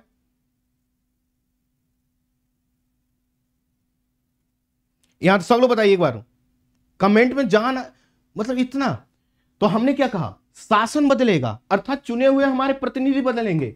किसी भी राज्य के सीएम बदल जाएँगे, पीएम बदल जाएँगे प्रधान जी बदल जाएँगे नगर पालिका के लोग बदल जाएँगे। लेकिन शासन हमेशा एक ही तरह से चलेगा। क्यों चलेगा? क्योंकि किस, हमारे देश का जो संविधान है, या किसी भी देश का संविधान है, वह क्या बताता है कि शासन व्यवस्था क्या चलेगा? तो हमने क्या कहा कि संविधान क्या है? सुप्रीम लॉ ऑफ़ लैंड है। किसी देश में जो सबसे प्रमुख कानून है, उसको हम संविधान बोलते हैं। यह बुक के रूप में हो सकता है, जैसे हमारे देश में यह बंच ऑफ़ डॉक्यूमेंट्स के रूप में हो सकता है। ठीक है? और इस तरह से हमने कंक्लूड किया था कि देश को चलाने वाला प्रमुख नियम है। यह नियम ही क्या करता है? विधि का शासन स्थापित करता है। विधि का शासन स्थापित करने का मतलब है कि अब यह नहीं होगा कि मुख्य कोई व्यक्ति मान लेते हैं कि आज मुख्यमंत्री बने और बड़ा आक्रोशित है। कि पहले की सरकारों ने ऐसा किया। अभी हम सबको बताते हैं, वो कुछ भी ऐसा नहीं कर सकते जो विधि के खिलाफ हो। वह क्या है? अपनी सीमा में, अपने दायरे में बधे हुए हैं। तो हर उस जो भी देश होगा, उस देश का संविधान उसको कहता है कि भैया आप विधि के अनुसार शासन चलाइएगा। विधि के अनुसार शासन चलाने में जो उसका स्थलीय क्षेत्र है, जलीय क्षेत्र है, उसके जो नियम है, वो कौन बताता है? संविधान बताता है। और संविधान ये भी बताता है कि शासन व्यवस्था कैसे चलेगी। यहाँ तक क्लियर? शासन और प्रशासन में भी क्लियर हो गया होगा। ठीक है? अगला, देखिए। अभी तो संविधान को बहुत समझना है। ठीक? अगला जो पॉइंट है, उसको समझिए। यह जो हमारा संविधान है, यह सरकार यह सरकार की शक्ति और स्वरूप को डिसाइड करता है। शक्ति और स्वरूप को निर्धारित करता है। अब इसका मतलब यह है कि सरकार सरकार का गठन कैसे होगा? है ना? सरकार कौन, किसको हम सरकार कहेंगे? ये संविधान बताता है। जैसे अभी जो है कि मुख्यमंत्री जी हैं। मुख्यमंत्री जी को लगे कि हमें क्या करना चाहिए? खूब मंत्री बना देने चाहिए। जब ज़्यादा मंत्री होंगे तो सभी विधायक खुश होंगे। जैसा कि आपको पता है कि इस समय क्या होता है? एक दल बना, एक राजनीतिक दल सत्ता में है तो मालूम चलता है उसके कुछ दो लोग चल, टूट कर दूसरे हिस्से में चले गए। अब ऐसे में मुख्यमंत्री जी बड़ा परेशान रहते हैं कि भैया कोई भी जो है कि आता है हमारे विधायकों को तोड़ ले जाता है। अब मुख्यमंत्री जी ने कहा, ऐसा करो, सबको मुख्यमंत्री बनाओ। क्या इस पॉसिबल है? नहीं पॉसिबल है। क्यों नहीं पॉसिबल है? क्योंकि जो मंत्री परिषद होगी, उसमें कुछ ही लोग, आपने सुना होगा, नियम होगा। आपने आगे बताएँगे कितने परसेंट लोगों को बताया जा सकता है, लेकिन उसका नियम है ठीक इसी तरह से। सरकार जो होगी, कब वैलिड सरकार होगी? अब मान लो एक ऐसी कंडीशन देखो, कि कहीं पर चुनाव हुए, और चुनाव में किसी को बहुमत मिला नहीं, स्पष्ट बहुमत मिला नहीं। कोई राजनीतिक दल सबसे बड़ा नहीं है। सब मिले जुले हैं। अब सरकार किसकी बनेगी? किस कंडीशन में कौन सी सरकार रहेगी? ये सब हमारा संविधान बताता अब सरकार बन गई तो उसकी शक्ति क्या होगी? क्या वह संविधान को पूरी तरह से बदल सकती है? क्या वह नया संविधान लिख सकती है? क्या वह जनता के अगेंस्ट में कार्य कर सकती है? क्या वह ऐसा करने का अधिकार रखती है? ये सब क्या करता हमारा संविधान बताता है। इसका मतलब है सरकार का गठन क्या होगा? उसकी जो शक्तियाँ हैं वह क्या होंगे? उनके जो कार्य होंगे, वह क्या होगा? उनका जो दायित्व है, वह क्या होगा? और उन पर नियंत्रण कैसे होगा? उन पर जो नियंत्रण है, वह कैसे होगा? यह भी क्या करता है, हमारा संविधान बताता है। जैसे कि हम जब सरकार शब्द यूज़ करते हैं तो इसमें तीन चीज़ें आती हैं। कौन सी? इसमें है विधायिका। अब देखिएगा, इस चीज़ को मैं एक्सप्लेन कर रहा हूँ। विधायिका। विधायिका का मतलब होता है विधि बनाने वाली संस्था। विधि बनाने वाली संस्था। और जो विधि बनाने वाली संस्था है, हम इसको दो संस्थाओं के रूप में ले सकते हैं। आगे चलकर और इस पर जैसे हम कह सकते हैं, संसद क्या करती है? विधि बनाती है। और ठीक इसी तरह से जो विधानसभा होती है, राज्य के स्तर पर, जिस राज्य के आप होंगे, वहाँ की विधानसभा। वो भी क्या करती विधि बनाती, कानून बनाती है। अब संसद क्या हर तरह का कानून बनाने का अधिकार रखती है? क्या वो संविधान को बदल सकती है? नहीं। संसद जो भी कानून बनाएगी, अगर कोई भी कानून संविधान के प्रावधानों के अगेंस्ट वह जो भी कानून बनाएगी वह संविधान के अनुसार होना चाहिए। और अगर कोई कानून संविधान के अगेंस्ट में है, आप तुरंत क्या करेंगे? सुप्रीम कोर्ट चले जाएँगे और सुप्रीम कोर्ट में जाकर आप उसको चैलेंज करेंगे। सुप्रीम कोर्ट संसद संसद के द्वारा बनाए गए उस कानून को रिजेक्ट करेगा जो संविधान के अगेंस्ट में इसका मतलब क्या है? अगर ये संविधान ना होता तो संसद क्या होती? बहुत पावरफुल होती। लेकिन यही संविधान सरकार की शक्ति को बता देता है कि भैया, तुम तुम संसद के रूप में हो या विधानसभा। विधानसभा कहाँ होती? राज्य के स्तर पर। इनकी क्या लिमिटेशन है? अगर किसी विधानसभा ने कोई कानून बनाया जो कि संविधान के अगेंस्ट में है, आप तुरंत क्या करेंगे? हाई कोर्ट चले जाएँगे, सुप्रीम कोर्ट चले जाएँगे और वहाँ पर जाकर आप चैलेंज करेंगे कि साहब इन्होंने जो कानून बनाया वो संविधान के अगेंस्ट में और उस कानून को क्या किया जाएगा? रिजेक्ट किया जाएगा। क्यों? क्योंकि हमारा जो संविधान है वह क्या कहता है कि हमारे यहाँ पर जो कुछ भी होगा, वह संविधान के अनुसार होगा। दूसरा, इसका जो भाग है, विधायिका, उसके बाद है कार्यपालिका। कार्यपालिका। कार्यपालिका में कौन लोग हैं? आप लोग शामिल होंगे। जैसे कार्यपालिका दो तरह की होती है ना? एक होती है राजनीतिक कार्यपालिका, एक होती है राजनीतिक कार्यपालिका, एक होती है स्थायी कार्यपालिका, है ना? या प्रशासनिक कार्यपालिका। राजनीतिक में जैसे जो लोग चुनकर प्रतिनिधि आते हैं जैसे अभी मान लीजिए प्रधानमंत्री जी हैं, उनके जितने भी सांसद हैं, ठीक राज्यों के संदर्भ में मुख्यमंत्री जी हैं और उनके जो विधायक हैं, ये राजनीतिक कार्यपालिका, स्थायी कार्यपालिका या प्रशासनिक कार्यपालिका में आप लोग हैं। आप क्या है आई के रूप में आईपीएस के रूप में अपने अलग अलग विभागों में, मंत्रालयों में अपनी सेवाएँ देते हैं। तो आपके ऊपर भी क्या है, नियम लागू होते हैं। आप कितने भी बड़े पद पर पहुँच जाएँ, आप कोई भी ऐसा कृत्य नहीं कर सकते जो क्या है, असंवैधानिक हो। मतलब आपके पास पावर बहुत है, लेकिन पावर की सीमा क्या है? आप संविधान के दायरे में, आप संविधान के दायरे में रहकर ही काम करेंगे। जैसे अगर आप मान लेते हैं कि आप प्रधानमंत्री बन गए या मुख्यमंत्री बन गए, कोई पत्रकार है, वह आपको जो है कि बड़ा आपसे प्रश्न पूछता है, और आपसे प्रश्न, जब प्रश्न पूछता है, आप बड़े जो है कि खींच जाते हैं। आप कहते हैं, रुको, अभी तुमको बताते हैं। आपने क्या किया? आदेश दिया। या आप कोई अधिकारी हैं, आपने आदेश दिया कि उसको उठा लाओ। आपने क्या? आप कार्यपालिका हैं। आपने जो कार्य किया, वो असंवैधानिक था। वह व्यक्ति तुरंत क्या करेगा? हाई कोर्ट या सुप्रीम कोर्ट जाकर आपके कृत्य को, वह चैलेंज करेगा और यहाँ पर हाई कोर्ट और सुप्रीम कोर्ट आपको करेक्ट करेगा। कहेगा नहीं भाई आप ऐसा नहीं कर सकते हो। क्यों नहीं कर सकते हो? क्योंकि सरकार की शक्ति स्वरूप क्या होगा? ये संविधान बता चुका है और संविधान यह कहता है कि आप संविधान से बियॉन्ड जाकर कोई कार्य नहीं कर सकते। ठीक इसी तरह से न्यायपालिका न्यायपालिका न्यायपालिका भी क्या हुआ है? संविधान से बधा हुआ है। न्यायपालिका को बहुत बार ऐसा लगेगा, जैसे वर्तमान जो है कि जो चीफ जस्टिस ऑफ़ इंडिया है या अन्य जो आप जजों को देखेंगे, सुनेंगे तो उनको कई बार ऐसा लगेगा कि यहाँ पर कुछ बदलने की ज़रूरत है। जैसे मणिपुर में जो कुछ भी हुआ, चीफ जस्टिस ऑफ़ इंडिया ने खुद पूछा कि भाई ये क्या हो रहा है। लेकिन उनकी भी क्या है, सीमाएँ हैं। वो ऐसा नहीं है कि वो प्रधानमंत्री जी को तलब कर लें। प्रधानमंत्री जी यहाँ पर आइए, बताइए क्या हो रहा है मणिपुर? नहीं कर सकते। क्यों? क्योंकि वो भी सरकार का अंग है और उनकी शक्तियाँ और सीमाएँ हैं। कुल मिलाकर, हमारा जो संविधान है, वह यह काम करता है और इसी के साथ वो एक और काम करता है, वह शक्तियों का पृथककरण करता है। शक्तियों का जो पृथककरण। पृथककरण का मतलब है डिस्ट्रीब्यूशन ऑफ़ पावर क्यों करता है? ताकि कोई भी सरकार और सत्ता, कोई भी सरकार और सत्ता निरंकुश ना हो जाए।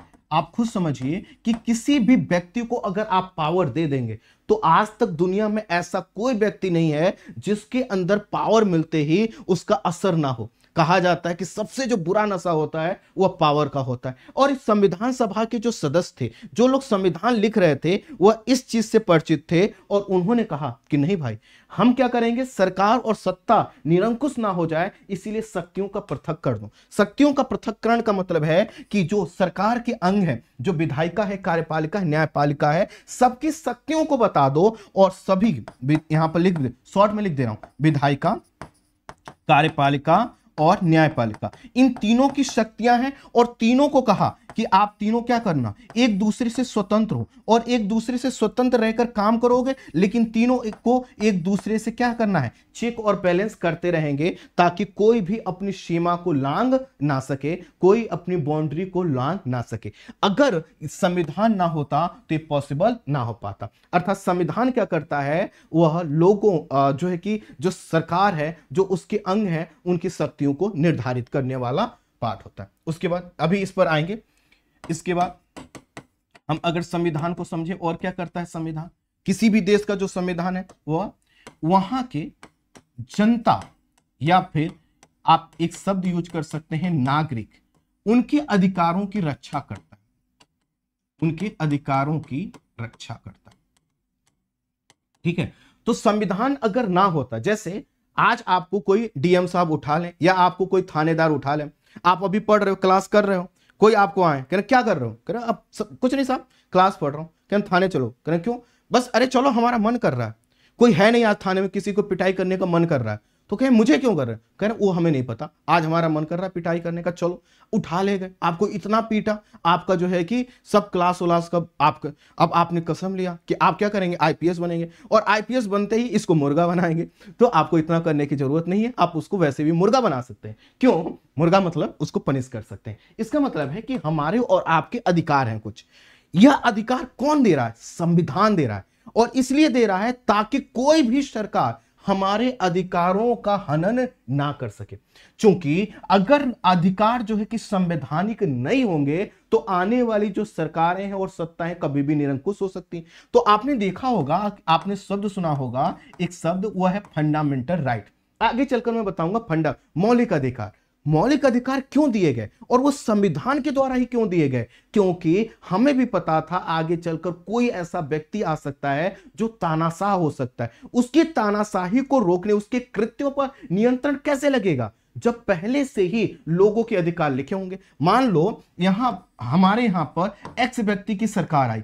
उसने कहा कि जो लोग जॉब की बात करते हैं, है ना, उनको क्या करो, जेल में डालो। जो लोग हेल्थ की बात करते हैं, उनको जेल में डालो। जो हायर एजुकेशन को बढ़ावा देने की बात करते हैं, जेल में डालो। अब वो जेल में डाल सकता था, अगर कानून नहीं होता, कोई नियम नहीं होता। तो नियम कौन से? संविधान। संविधान ने देखा था, संविधान सभा को बनाने वाले जो लोग थे, उन्होंने देखा था कि आज़ादी के संघर्ष के दौरान हम किस तरह के जो है कि किस तरह से कानूनों की मांग कर रहे थे? आखिर हमारे और अंग्रेज़ों में क्या अंतर था? उनके पास कानून ज़्यादा थे और हमारे पास कानून थे ही नहीं। तो संविधान क्या करता है? वह जनता और नागरिक के अधिकारों की रक्षा करता है। और अगर यह रक्षा जो करता है, वह इसलिए करता है ताकि हमारे यहाँ पर लोकतंत्र रह सके। तो अगला जो लाइन है, वह है लोकतंत्र की सुरक्षा करता है।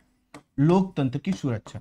अगर हमारे यहाँ पर संविधान ना होता और हमारे संविधान सभा ने कहा होता कि ठीक है भाई, इतना डिटेल में संविधान क्यों लिखना? जैसे अमेरिका का संविधान है, शुरू होते ही खत्म हो जाता है। जैसे ब्रिटेन में कुछ चीज़ें एक जगह लिखी हुई नहीं है अलग अलग चीज़ें हैं, नियम है, परंपरा है, कुछ डॉक्यूमेंट्स है, उसके आधार पर शासन चलता है। वो लोग भी कहते हैं कि ऐसे ही नियम चला लेते हैं, ऐसे कर लेते हैं। तो हमारे यहाँ का जो डेमोक्रेसी है, क्या वो सुरक्षित रहता? नहीं रहता। डेमोक्रेसी सुरक्षित तभी रहेगा जब डेमोक्रेसी को या लोकतंत्र? आगे चलकर मैं बताऊँगा लोकतंत्र क्या जब डेमोक्रेसी को चलाने वाले जो मूल्य हैं, वह क्या हो? चलाने वाले जो मूल्य हैं, वह सुरक्षित रहे। और सुरक्षित कब रहेंगे? जब हमारे पास जो जितनी, जो हमारे नियम है, वो बहुत क्या हो? मज़बूत हो। विधि ऐसी हो जिसको कोई बदल ना सके। अगर हमारे यहाँ पर डेमोक्रेसी है, वह इस वजह से संविधान नहीं तो हमारे बगल में म्यांमार को देख लीजिए। मैं कहने को म्यांमार में भी संविधान है, लेकिन वहाँ पर डेमोक्रेसी चल नहीं पाई। क्यों नहीं चल पाई? क्योंकि डेमोक्रेसी के जो आइडियल्स थे, उनको वहाँ पर फॉलो नहीं किया गया। हमारा जो संविधान है वह इतनी डिटेल तरीके से हर चीज़ को लिख देता है और सबकी सीमाएँ इतने स्पष्ट तौर पर बता देता है कि कोई अपनी शक्ति को लांग ही नहीं सकता, कोई अपनी सीमा को लांग ही नहीं सकता। इसलिए हमारे यहाँ पर क्या है? लोकतंत्र है। तो जो संविधान होता है, वह उस देश के लोकतंत्र को प्रोटेक्ट करने का आधार होता है। जैसे इस समय जितने भी कार्य हो विपक्ष क्या कह रहा है कि भैया, विपक्ष कह रहा है, संसद जो है कि चली नहीं रही। है ना? किसी आ, कोई भी बिल आ रहा है कोई कानून बनाया जा रहा है तो विपक्ष उसमें शामिल ही नहीं हो रहा है। सरकार के पास इतने सांसद हैं कि वो वोटिंग करवा के पास कर ले रहे हैं। हालाँकि गलत तरीका है क्योंकि विपक्ष का होना और उस मुद्दे पर चर्चा करना बहुत ज़रूरी है ताकि कोई गलत कानून ना बन जाए। और विपक्ष जब मज़बूत रहेगा तभी वो क्या करेगा? सरकार से प्रश्न कर सकता है कि भाई आपने एक ऐसा कानून क्यों बनाया? आपने इस तरह का कानून क्यों बनाया? लेकिन क्या है? अभी विपक्ष के बहुत से सांसद क्या है? वह अंदर ही नहीं जा पा रहे हैं। इसका मतलब यह है कि जो कुछ भी हमारी सरकार करे, सरकार के जो भी अंग है है ना? चाहे विधायिका हो, कार्यपालिका हो, न्यायपालिका हो, जितने भी करें, उन सबको क्या करना है? लोकतंत्र की रक्षा के हेतु काम करना है। इसीलिए शक्तियाँ दी गई हैं सबको। जैसे न्यायपालिका को कहा गया है कि जब भी आपको कुछ भी ऐसा कृत्य लगे जो अलोकतांत्रिक हो गैर लोकतांत्रिक हो, आप क्या कीजिएगा? उसको समाप्त कीजिएगा। कोई ऐसी विधि, विधायिका बना दी जाए तो आप उसको रोकिएगा। कार्यपालिका कोई ऐसा काम कर दे तो आप क्या कीजिएगा? सुप्रीम कोर्ट को अधिकार दिया गया है कि आप क्या करें? आप संविधान की व्याख्या का अधिकार हम आपको दे रहे हैं। और संविधान की व्याख्या और उसके भाव को देखते हुए आप क्या कीजिएगा? आदेश दीजिएगा, क्योंकि आपको हमने आदेश देने का अधिकार दिया है। क्यों? क्योंकि लोकतंत्र को हमें सुरक्षित रखना है। तो जो संविधान होता है, वह किसी भी देश का हो, अगर उसको लोकतंत्र के लिए बनाया गया है तो क्या होता है? लोकतंत्र का एक बहुत बड़ा आधार होता है। ठीक है? फिर अगला अगर हम देखें तो जो संविधान है, वह क्या होता है कि हमारा जो देश, हमारा जो देश, जैसे हम अपने देश की बात कर रहे हैं, यह हर देश पे लागू होगा। हमारा देश, या फिर यहाँ पर लिख दीजिए, किसी भी देश को है ना? किसी भी देश को हम किस दिशा में ले जाना चाहते हैं? किस दिशा में ले जाना चाहते हैं? या फिर हमारे देश के लिए क्या आदर्श होंगे? क्या आदर्श होंगे? क्या मूल्य होंगे? इसकी जानकारी हमें किससे मिलती है? संविधान से मिलती है।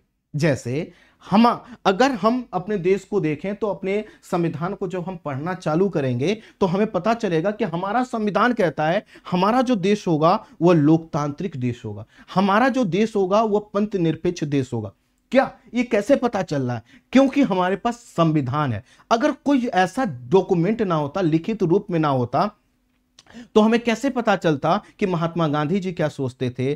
जवाहरलाल नेहरू जी क्या सोचते थे? हमारे यहाँ पर जो अन्य फ्रीडम फाइटर थे, वो क्या सोचते थे? संविधान सभा के लोग क्या सोचते थे? उन्होंने जो संविधान बनाया है उससे हमें पता चलता है कि हमारे देश के लिए आदर्श क्या है। हम किस दिशा में हमें आगे बढ़ना चाहिए किन किन मूल्यों को हमें संरक्षित रखना चाहिए, ये सब किससे पता चलता है? संविधान। तो किसी भी देश का जो संविधान होता है, वह उसके आदर्शों और मूल्यों को क्या करता है? प्रतिबिंबित करता है, उसको बताता है, उसको इंगित करता है और इस तरह से हम समझ पाए कि संविधान क्या होता है। क्या मैं आपको समझा पाया कि संविधान क्या होता है? तो हम पहला शब्द समझ पाए संविधान। अब हम समझेंगे पॉलिटी। लेकिन उससे पहले मुझे एक बार बता दीजिए, क्या हम संविधान समझ पाए कि नहीं? प्लीज़ बताइए।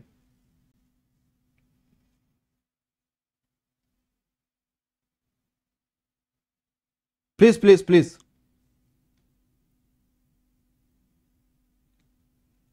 क्लियर एक बार थोड़ा सा तेज़ी से बच्चों, क्या एकदम सुस्त पड़ गए क्या? सेशन को आप लोगों ने शेयर नहीं किया ना?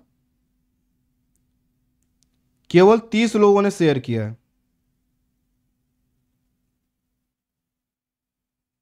केवल तीस लोगों ने शेयर किया, बताइए। क्या हम समझ पाए?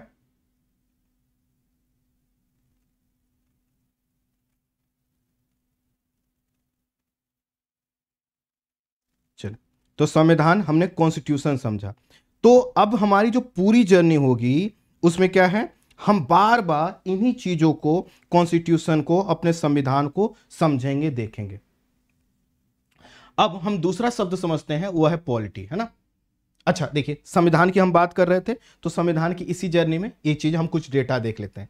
आपके सामने कुछ देश हैं और इन देशों का संविधान बताया गया है। तो संविधान जो बनने की प्रक्रिया है, आपको भी पता है, हमारा जो देश का संविधान बना, वो नाइनटीन फोर्टी में बनना चालू होता है 1949 में कंप्लीट होता है 26 जनवरी 1950 को हमारा संविधान लागू होता है। उससे पहले देश के विश्व के अलग अलग क्षेत्रों में संविधान बन चुके थे तो उसकी एक छोटी सी लिस्ट है। हम आगे चलकर संविधान कितने प्रकार का होता है, वो सभी चीज़ें डिस्कस करेंगे। अभी तो हमें बस संविधान शब्द समझना था, उसको हमने समझा। यहाँ पर देखें तो आपके पास एक मैप है और इस मैप में दिखाया गया है कि कहाँ पर यूके है ना? 1215 में अभी जो आप यूके देख रहे हैं ब्रिटेन देख रहे हैं तो यहाँ का जो नियम चलता है, जो कानून चलता है, उसका एक मोटा जो ढांचा है, वह 1215 में ही बन गया था। है ना? तो लोकतंत्र के पॉइंट ऑफ़ व्यू से एक बहुत प्रारंभिक जो प्रयास है, वह यहाँ यूके में दिखाई देता है। तो यहाँ पर क्या हुआ था? यहाँ पर पहले दरअसल राज पद्धति थी। राजा का शासन हुआ करता था। लेकिन वहाँ के लोगों ने कहा कि नहीं भाई, ये ठीक नहीं है। वहाँ पर एक विरोध प्रदर्शन होने वाला था। बड़े स्तर पर हिंसा हो सकती थी, लोग अपने हक के लिए मांग कर सकते थे। तो वहाँ के राजा ने कहा, ऐसा करो इस सब की ज़रूरत नहीं है, आओ मिलजुल कर बैठ कर बात करते हैं। और उस तरह से उन्होंने समाधान निकाल लिया। और कुछ चीज़ों पर सहमति बनी। तो यही जो सहमति है, यही से संविधान का प्रारंभ माना जाता है। तो यहाँ पर देख सकते हैं, आपको 1215 उसके बाद जिस देश की सब, बहुत ज़्यादा चर्चा होती है, वह है यूएस से 1789 है ना? यहाँ पर संविधान होता है। ये जो संविधान है लिखित संविधान बनता है। यहाँ पर लिखित संविधान नहीं था बातचीत हुई कुछ चीज़ों पर सहमति बन गई उसको करेंगे। आगे हम फिर से इस पर बात करेंगे लिखित और लिखित में क्या अंतर है वो कैसे संविधान होता है कठोर कौन सा होता है मुलायम कौन सा होता है सभी डिस्कस करेंगे। मैं बस अब अभी आपको जो जानकारी दे रहा हूँ उस संविधान के आ, जो है कि डेट को लेकर संविधान बनने की प्रक्रिया। 1789 इधर फिर उसके बाद आप देखेंगे तो सैन मैरिनो यहाँ पर 1600 में संविधान बन जाता है। इधर आएँगे तो नीदरलैंड में 1815 में संविधान, नॉर्वे में 1814 में संविधान बनता है, बेल्जियम में 1831 में, लग्जमबर्ग में जो संविधान है, अठारह में बन जाता है। इधर जो न्यूजीलैंड है, यहाँ पर संविधान अठारह में बन जाता है। टोंगा अठारह में संविधान, ऑस्ट्रेलिया 1901 में संविधान यहाँ पर बन जाता है। और जो कनाडा है, वहाँ पर अठारह में संविधान बनता है। इसी तरह की कुछ जानकारी आप यहाँ पर भी देख सकते हैं। वही चीज़ें यहाँ पर भी लिखी हुई हैं। इससे बस ये हम बताना चाह रहे हैं कि जो हमने संविधान देखा कि संविधान क्या करता है, वो तो जो भी मूल्य हमने संविधान के बताए, उन मूल्यों को देखें तो लगभग हमें एक हज़ार वर्ष का एक इतिहास हमें मिल सकता है कि लगभग एक हज़ार पहले से संविधान बनने की प्रक्रिया या उसका जो मूल्य है, वो धीरे धीरे विकसित हुआ। पहले जो देश थे, वह सभी देश संविधान के तहत शासित नहीं होते थे। पहले अधिकांश जगहों पर राजतंत्र था। राजतंत्र में राजा का शासन होता था और राजा का शासन में राजा और रानी के ऊपर सब कुछ होता था। लेकिन धीरे धीरे क्या हुई? ये प्रक्रिया बदली। संविधान देशों में आने लगे, संविधान से लोग शासित होने लगे और आज के समय में माना जाता कि जो संवैधानिक मूल्य है, जो संविधान है, वही सबसे बेहतर है। संविधान के अनुसार जो शासन चलता है, वही सबसे बेहतर माना जाता है।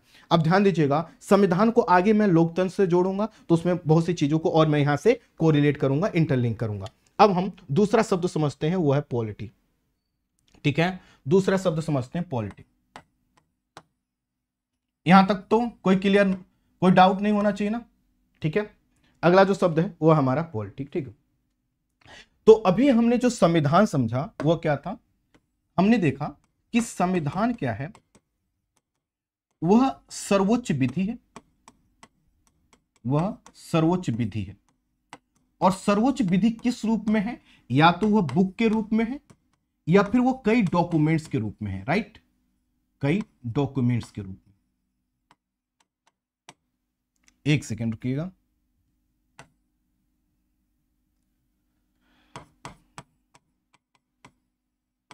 वो कई डॉक्यूमेंट्स तो जो संविधान है, दरअसल क्या है? यह एक सिद्धांत, यह संविधान क्या है? सिद्धांत होता है।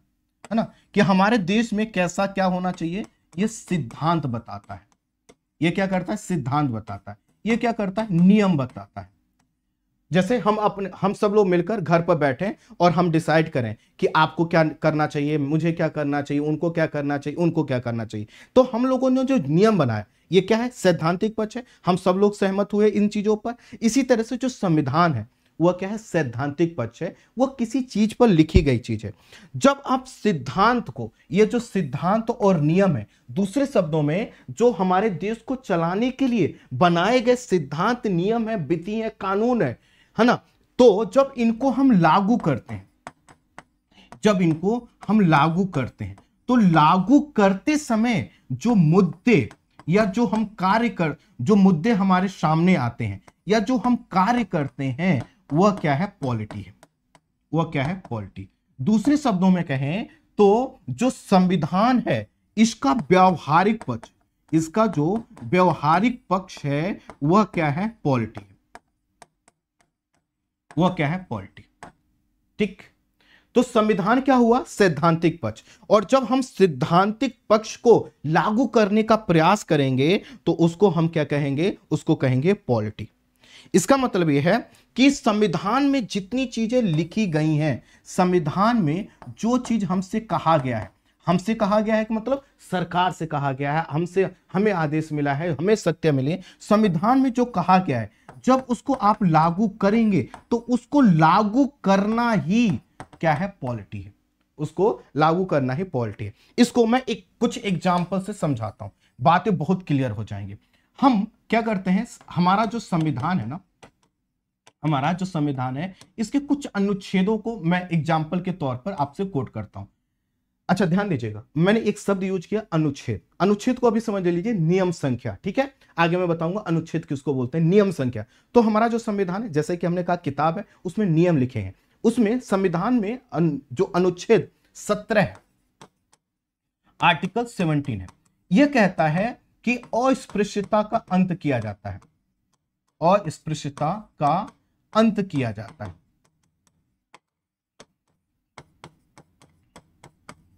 ठीक, अस्पृश्यता का अंत किया जाता है। ये क्या कहता है? संविधान ने कहा कि किसी के साथ जो है कि टचबिलिटी या जो छुआछूत की भावना है वह नहीं की जाए कोई व्यक्ति ऐसा कार्य नहीं करेगा जिससे छुआछूत फैले।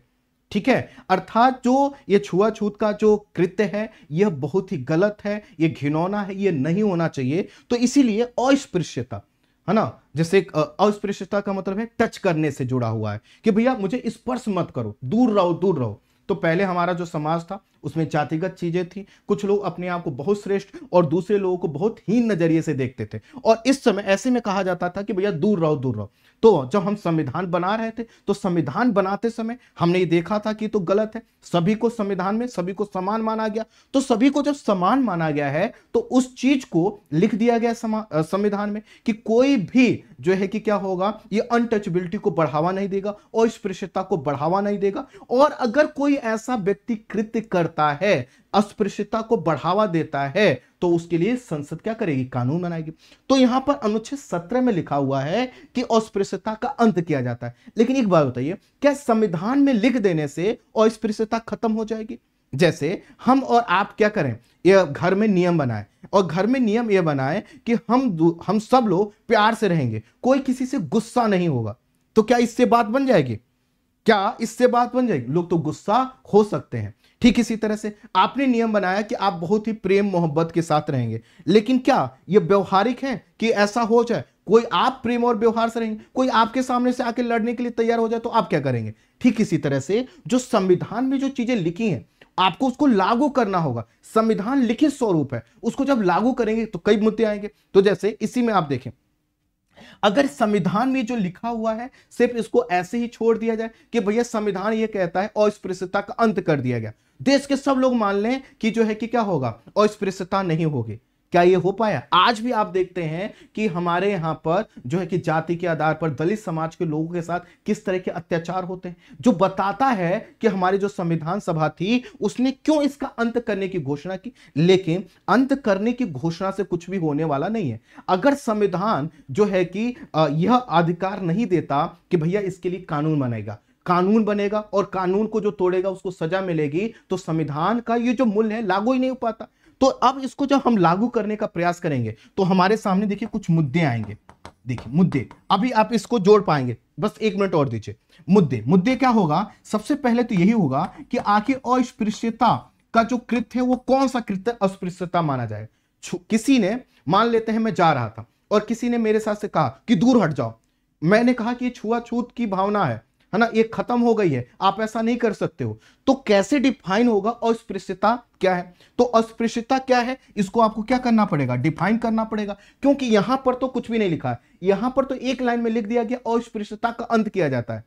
छुआछूत को ये जो छुआछूत का कृत्य है, इसको जड़ से खत्म किया जाता है। इस प्रकार का कोई कृत्य नहीं करेगा, बस इतना लिखा है, लेकिन इससे तो बात होगी नहीं। तो यहाँ पर बताना होगा कि अस्पृश्यता किस किस रूप में? बोलने के रूप में, कृत्य के रूप में, किस तरह से? दूसरा, अगर अस्पृश्यता बता भी दिया गया तो इसको अगर कोई व्यक्ति अस्पृश्यता वाला व्यवहार करता है तो किस व्यवहार को अस्पृश्यता वाला व्यवहार माना जाए?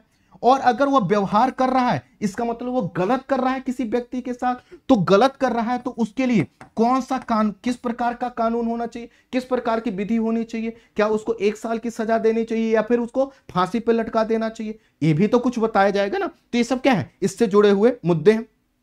ठीक है? इसमें यह भी होगा कि सरकार, जो अस्पृश्यता का जो भाव है यह लोगों के अंदर से हमेशा के लिए खत्म हो जाए। सरकार उसके लिए क्या क्या काम कर रही है? तो ये क्या हुए? ये मुद्दे हुए। तो यहाँ पर संविधान का आर्टिकल सिर्फ़ सत्रह, यहाँ पर बस ये लिख देता है कि हमारे देश से अस्पृश्यता को समाप्त किया जाता है। ये सैद्धांतिक पक्ष हुआ। उसको व्यवहारिक रूप से करने के लिए सरकार क्या करेगी? कानून बनाएगी। वो बताएगी अस्पृश्यता क्या होगी। अगर कोई इस प्रकार कौन से आचरण को इस जो है कि अस्पृश्यता वाला माना जाएगा और कोई इस प्रकार का आचरण करता है तो इसका मतलब इस संविधान, ये संविधान के इस नियम का उल्लंघन कर रहा है। उसको किस कानून के तहत कौन सी सजा मिलेगी, कितने समय की सजा मिलेगी और सरकार ये कहेगी कि हम यह विधि बनाते, कार्य बनाते हैं, कुछ हम जो है कि स्कीम बनाते हैं उसके तहत या कोई ऐसा प्रयास, है ना, जो बहुत क्रिएटिव तरीके से है, जिसमें सबको बताया जाए कि भैया, जातिगत आधार पर कोई भी जो डिस्क्रिमिनेशन है, वह व्यक्ति की मानवीय गरिमा के खिलाफ है, हमें नहीं करना चाहिए। कोई नाटक हो सकता है, कोई भी प्रयास तो सर, इस सब चीज़ें क्या होगा? इसमें हम लागू करेंगे। तो ये जितनी चीज़ें हैं जो हमने आर्टिकल 17 को लागू करते समय जितनी चीज़ें की, यही क्या है हमारा पॉलिटी है। यही क्या है हमारा पॉलिटी आपसे जुड़ा हुआ एक एग्ज़ाम्पल देता हूँ। हमारे संविधान का आर्टिकल है 16 ठीक है? हमारे वो क्या कहता है कि लोक नियोजन में, लोक नियोजन में अवसर की क्षमता होगी। अवसर की समता हो ठीक? ये क्या, हमारे संविधान में ये नियम लिख दिया गया कि लोक नियोजन में अवसर की समता होगी। क्या इसी से समता आ जाएगी? यहाँ पर प्रश्न ये आएगा कि नहीं भैया, ये लोक नियोजन क्या होता है? सबसे पहले तो यही चीज़ को डिफाइन करना होगा कि लोक नियोजन का विस्तार क्या है। अर्थात इसमें सरकार का कौन कौन सा अंग आएगा और सरकार के किन कार्यों को इसमें रखा जाए? क्या सभी पर यह नियम लागू होगा? क्या प्राइवेट कंपनियों पर भी? या सरकारी कंपनियों पर भी? और सरकारी में क्या पूर्ण सरकारी या अर्ध सरकारी किस कंपनी पर लागू होगा? ठीक है, अगला मुद्दा जो इसमें आएगा जोड़कर वो क्या होगा? कि लब जब लोक नियोजन में अवसर, अर्थात जो रोज़गार सृजित किया जाएगा, उसमें सबको अवसर मिले। तो सबको में इसमें, सबको अवसर की क्षमता होगी। इसमें क्या होगा? क्या यहाँ पर सभी वर्गों की बात की जा रही है? वर्गों, अर्थात क्या इसमें गरीब और अमीर, सबको एक ही जैसा अधिकार मिलेगा।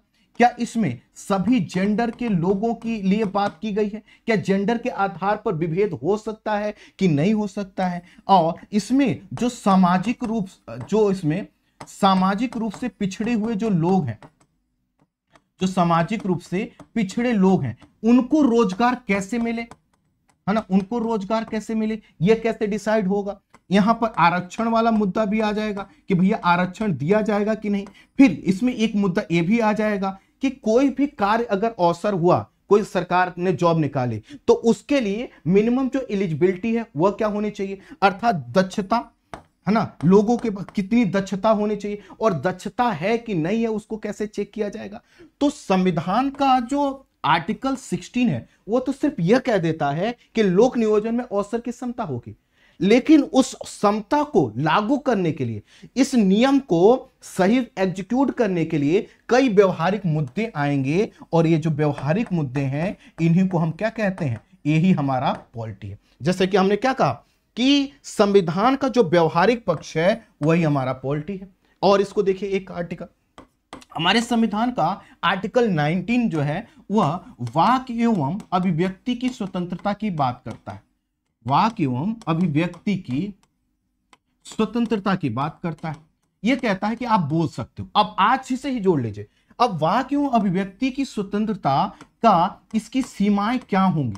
क्या कोई व्यक्ति कुछ भी बोल सकता है और क्या वो किसी को कुछ बोल सकता है? आप इसी में राहुल गांधी जी वाला जो केस है, उसको जोड़ सकते हैं। तो वाक और अभिव्यक्ति की स्वतंत्रता कही गई है किसमें होगा? लेकिन इसी में वाक और अभिव्यक्ति की सीमाएँ क्या होंगी? और अगर कोई व्यक्ति इन सीमाओं का उल्लंघन करता है, कोई उल्लंघन करता है तो कितनी सजा दी जाए? सजा कैसे दी जाए? और सजा जो दी जाएगी, वह कितनी तार्किक होनी चाहिए? यह क्या हुआ? इससे जुड़ा हुआ मुद्दा होगा। इसी में वाक्यों अभिव्यक्ति में हमारे सामने प्रश्न आएगा, क्या इसमें हेट स्पीच भी शामिल है? हेट स्पीच का मतलब क्या होता है? जब आप जाति और धर्म के आधार पर नफरत वाले बयान देते हो तो क्या वो भी जस्टिफाइस है? क्या यहाँ पर जो सोशल मीडिया है सोशल मीडिया के माध्यम से हम किसी को कुछ भी बोल देते हैं, क्या वह वाक और अभिव्यक्ति की आज़ादी का हिस्सा है?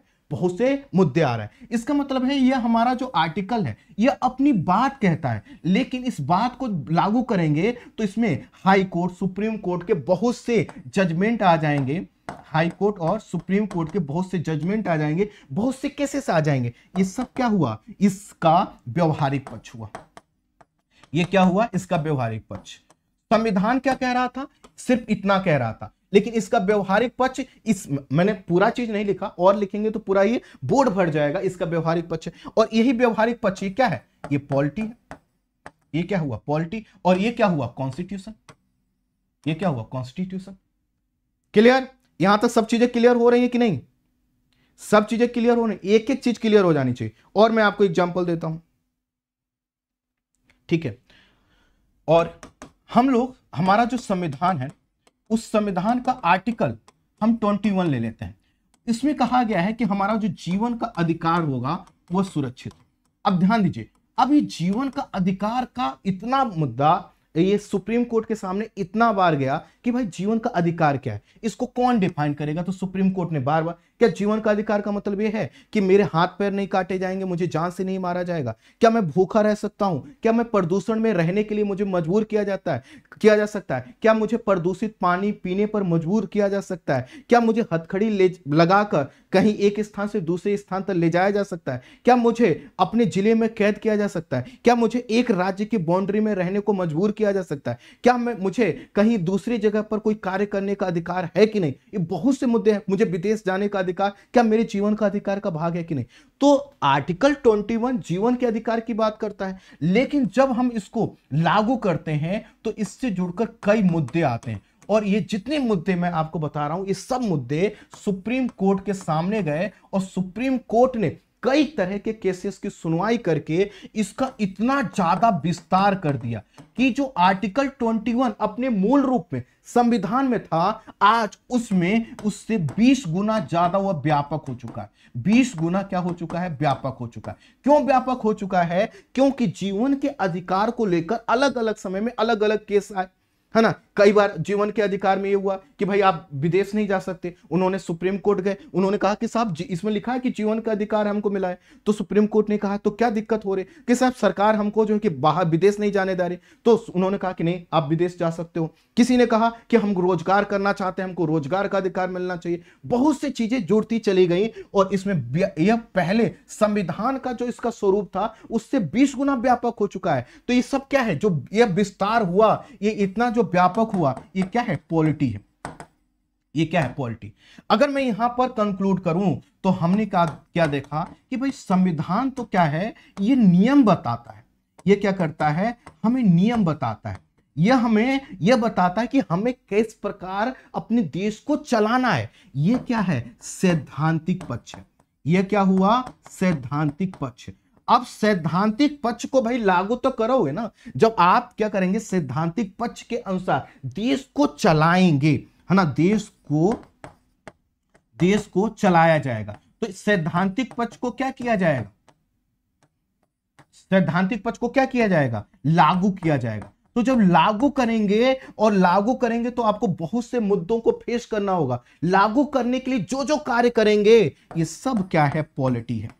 ये सब क्या है? पॉलिटी ठीक, अब देखिए क्या? पॉलिटी को हम क्या समझ सकते हैं? पॉलिटी का मतलब क्या है? कि भाई, यह हमारे संविधान का व्यवहारिक पक्ष है। और इस व्यवहारिक पक्ष में क्या होगा? संसद कुछ समय समय पर कानून बनाएगी। इसमें जो न्यायपालिका है, वह क्या होगी? समय समय पर कुछ निर्णय देगी। जो पॉलिटी है, वह क्या बताएगी? कि जो हमारी संस्थाएँ हैं वो सही से काम करें और कर रही है कि नहीं, उन्हीं को हम क्या करेंगे? चेक करेंगे। ठीक? अर्थात जो पॉलिटी है, वह संविधान। ये रहा हमारा संविधान। और संविधान किस रूप में है? किताब के रूप में। ये लिखा हुआ है। ठीक? और जब ये लिखा हुआ है तो इसको क्या किया जाएगा? एग्जीक्यूट जब हम करेंगे तो एग्जीक्यूट करते समय हम देखेंगे कि अलग अलग समय पर संविधान को लागू करने के लिए संसद अलग अलग कानून बना रही है। आप देखिए, आपको मैंने कल ही न्यूज़पेपर बताया था और सरकार आए दिन जो बिल बनाती कानून बनाती संसद जो विधि बनाती है, ना, जो कानून बनाती है, जो एक्ट और नियम, अधिनियम लाए जाते हैं, ये सब क्या है? ये पॉलिटी है। न्यायपालिका जो भी आदेश दे रही है, जो भी निर्णय दे रही है यह सब क्या है? यह पॉलिटी है। जो संस्थाएँ जिस तरह से कार्य कर रही हैं, जैसे इलेक्शन कमीशन से कहा गया है कि भैया आप क्या करोगे? स्वतंत्र और निष्पक्ष चुनाव करवाओ। ये कैसे स्वतंत्र और निष्पक्ष चुनाव करवा रहे हैं? उसमें क्या क्या प्रॉब्लम्स आ रही हैं? आपको याद होगा तो एक दौर हुआ करता था कि वोटिंग हुई और वोटिंग के बाद जो वोटिंग की पेटी थी, वही गायब हो जाती थी। इसके सामने व्यवहारिक चुनौती। आज लॉ एंड ऑर्डर को मेंटेन करने की ज़िम्मेदारी संस्थाओं पर है। वह संस्थाएँ सही से लॉ एंड ऑर्डर को मेंटेन कर रही है कि नहीं? ये क्या है? पॉलिटी है। इसी तरह से से आप देख लीजिए यूपीएससी है। मान लो यूपीएससी को ले लेते हैं। यूपीएससी संवैधानिक संस्था है। यूपीएससी को कुछ निर्देश दिए गए हैं कि आप क्या करोगे? आप जो है कि लोगों का चयन करो। अब यूपीएससी सही से काम करे या ना करे, ये सब क्या है? पॉलिटी का हिस्सा है। तो अगर नहीं काम करेगी तो आप इसकी आलोचना करोगे। और कर रही है तो आप इसकी क्या कर रहे हो? प्रशंसा कर रहे हैं। तो जितनी भी संस्थाएँ हैं, जितने भी न्यायपालिका और संसद से जुड़े हुए मुद्दे हैं, ये सब चीज़ें कुल मिलाकर जहाँ हमारा संविधान है जहाँ हमारा संविधान है, उसका जो व्यवहारिक पक्ष है, वही क्या है? पॉलिटी है। अर्थात हमारे देश में जो कुछ भी हो रहा है, वो संविधान के अनुसार ही हो रहा है, संविधान से ही जुड़ा हुआ है। तो उसके व्यवहारिक पक्ष को हमें देखते रहना है, समझते रहना है, यही हमारा पॉलिटी है। क्लियर? क्लियर?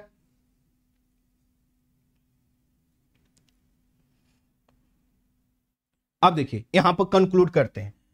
अगर मैंने आपको जो स्टार्टिंग में बताया कि वर्तमान समय में भैया 80 से लेकर 90 परसेंट जो क्वेश्चन है है ना? वह जो आते हैं, वो संविधान के व्यवहारिक पक्ष और समझ से आते हैं। इसका मतलब है, अब मैं यहाँ पर कंक्लूड कर रहा हूँ कि जो 80 से 90 परसेंट प्रश्न आते हैं क्वेश्चन आते हैं, वह किससे आते हैं? पॉलिटी व्यवहारिक पक्ष क्या हुआ? पॉलिटी तो अब आपसे कोई पूछे कि भैया क्वेश्चन ज़्यादा कहाँ से आते हैं तो आप क्या बताओगे? संविधान से नहीं, पॉलिटी से आते हैं।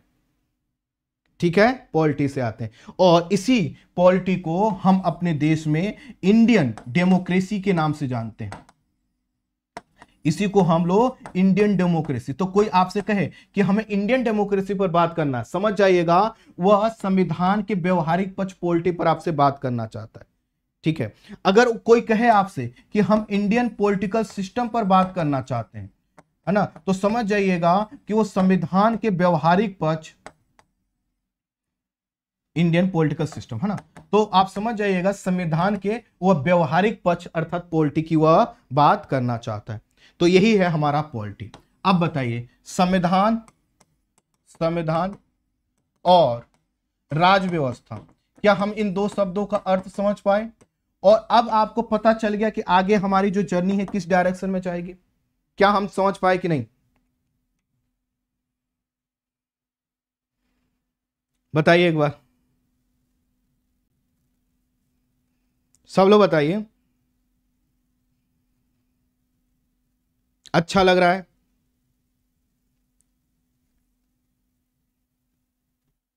आपको क्या लगता है? मज़ा आ जाएगा? जोग्राफी जैसा फील आएगा कि नहीं? क्या लग रहा है? जोग्राफी जैसा फील आ जाएगा आगे चल के?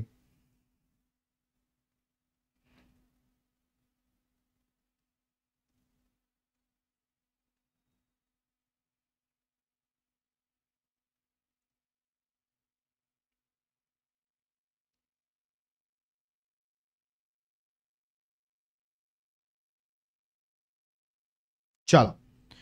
तो आज इतना ही रखते हैं। पहला दिन है आपका, छोटी क्लास, लेकिन ये क्लास कल भी होगी, कल भी होगी। और कल आपका जोग्राफी प्लिम्स ओरिएंटेड जोग्राफी का एक मैराथन है। प्लिम्स ओरिएंटेड इंडियन जोग्राफी की क्लास कल होगी 11 बजे, कल ग्यारह बजे। और ये जो क्लास है 5:30 पर कल होगी। 5:30 पर इससे आगे की जर्नी को हम लोग करेंगे। सेशन को अच्छे से शेयर कीजिएगा बच्चों। बहुत मेहनत से हम क्लास दिन भर आपके लिए नोट्स तैयार करना, बहुत सी चीज़ों को डिस्कस करना कि हम लोग कैसे इस प्रोग्राम को, कैसे इस पूरे प्लान को एग्जीक्यूट करें, किस किस वे में आपको कंटेंट दिया जाए, कौन सा टॉपिक कब पढ़ाया जाए। बहुत हम लोगों ने मेहनत किया है। आपसे हमने बोला था कि कंटेंट भले ही फ्री में हो, लेकिन बहुत शानदार होगा। उसी चीज़ को मैं करने का प्रयास कर रहा हूँ। अगर आपको हमारी मेहनत पसंद आए तो प्लीज़ इसको अधिक से अधिक दोस्तों और मित्रों के साथ इसको शेयर कीजिएगा। ठीक है? चलिए मिलते हैं नेक्स्ट क्लास में। Thank you so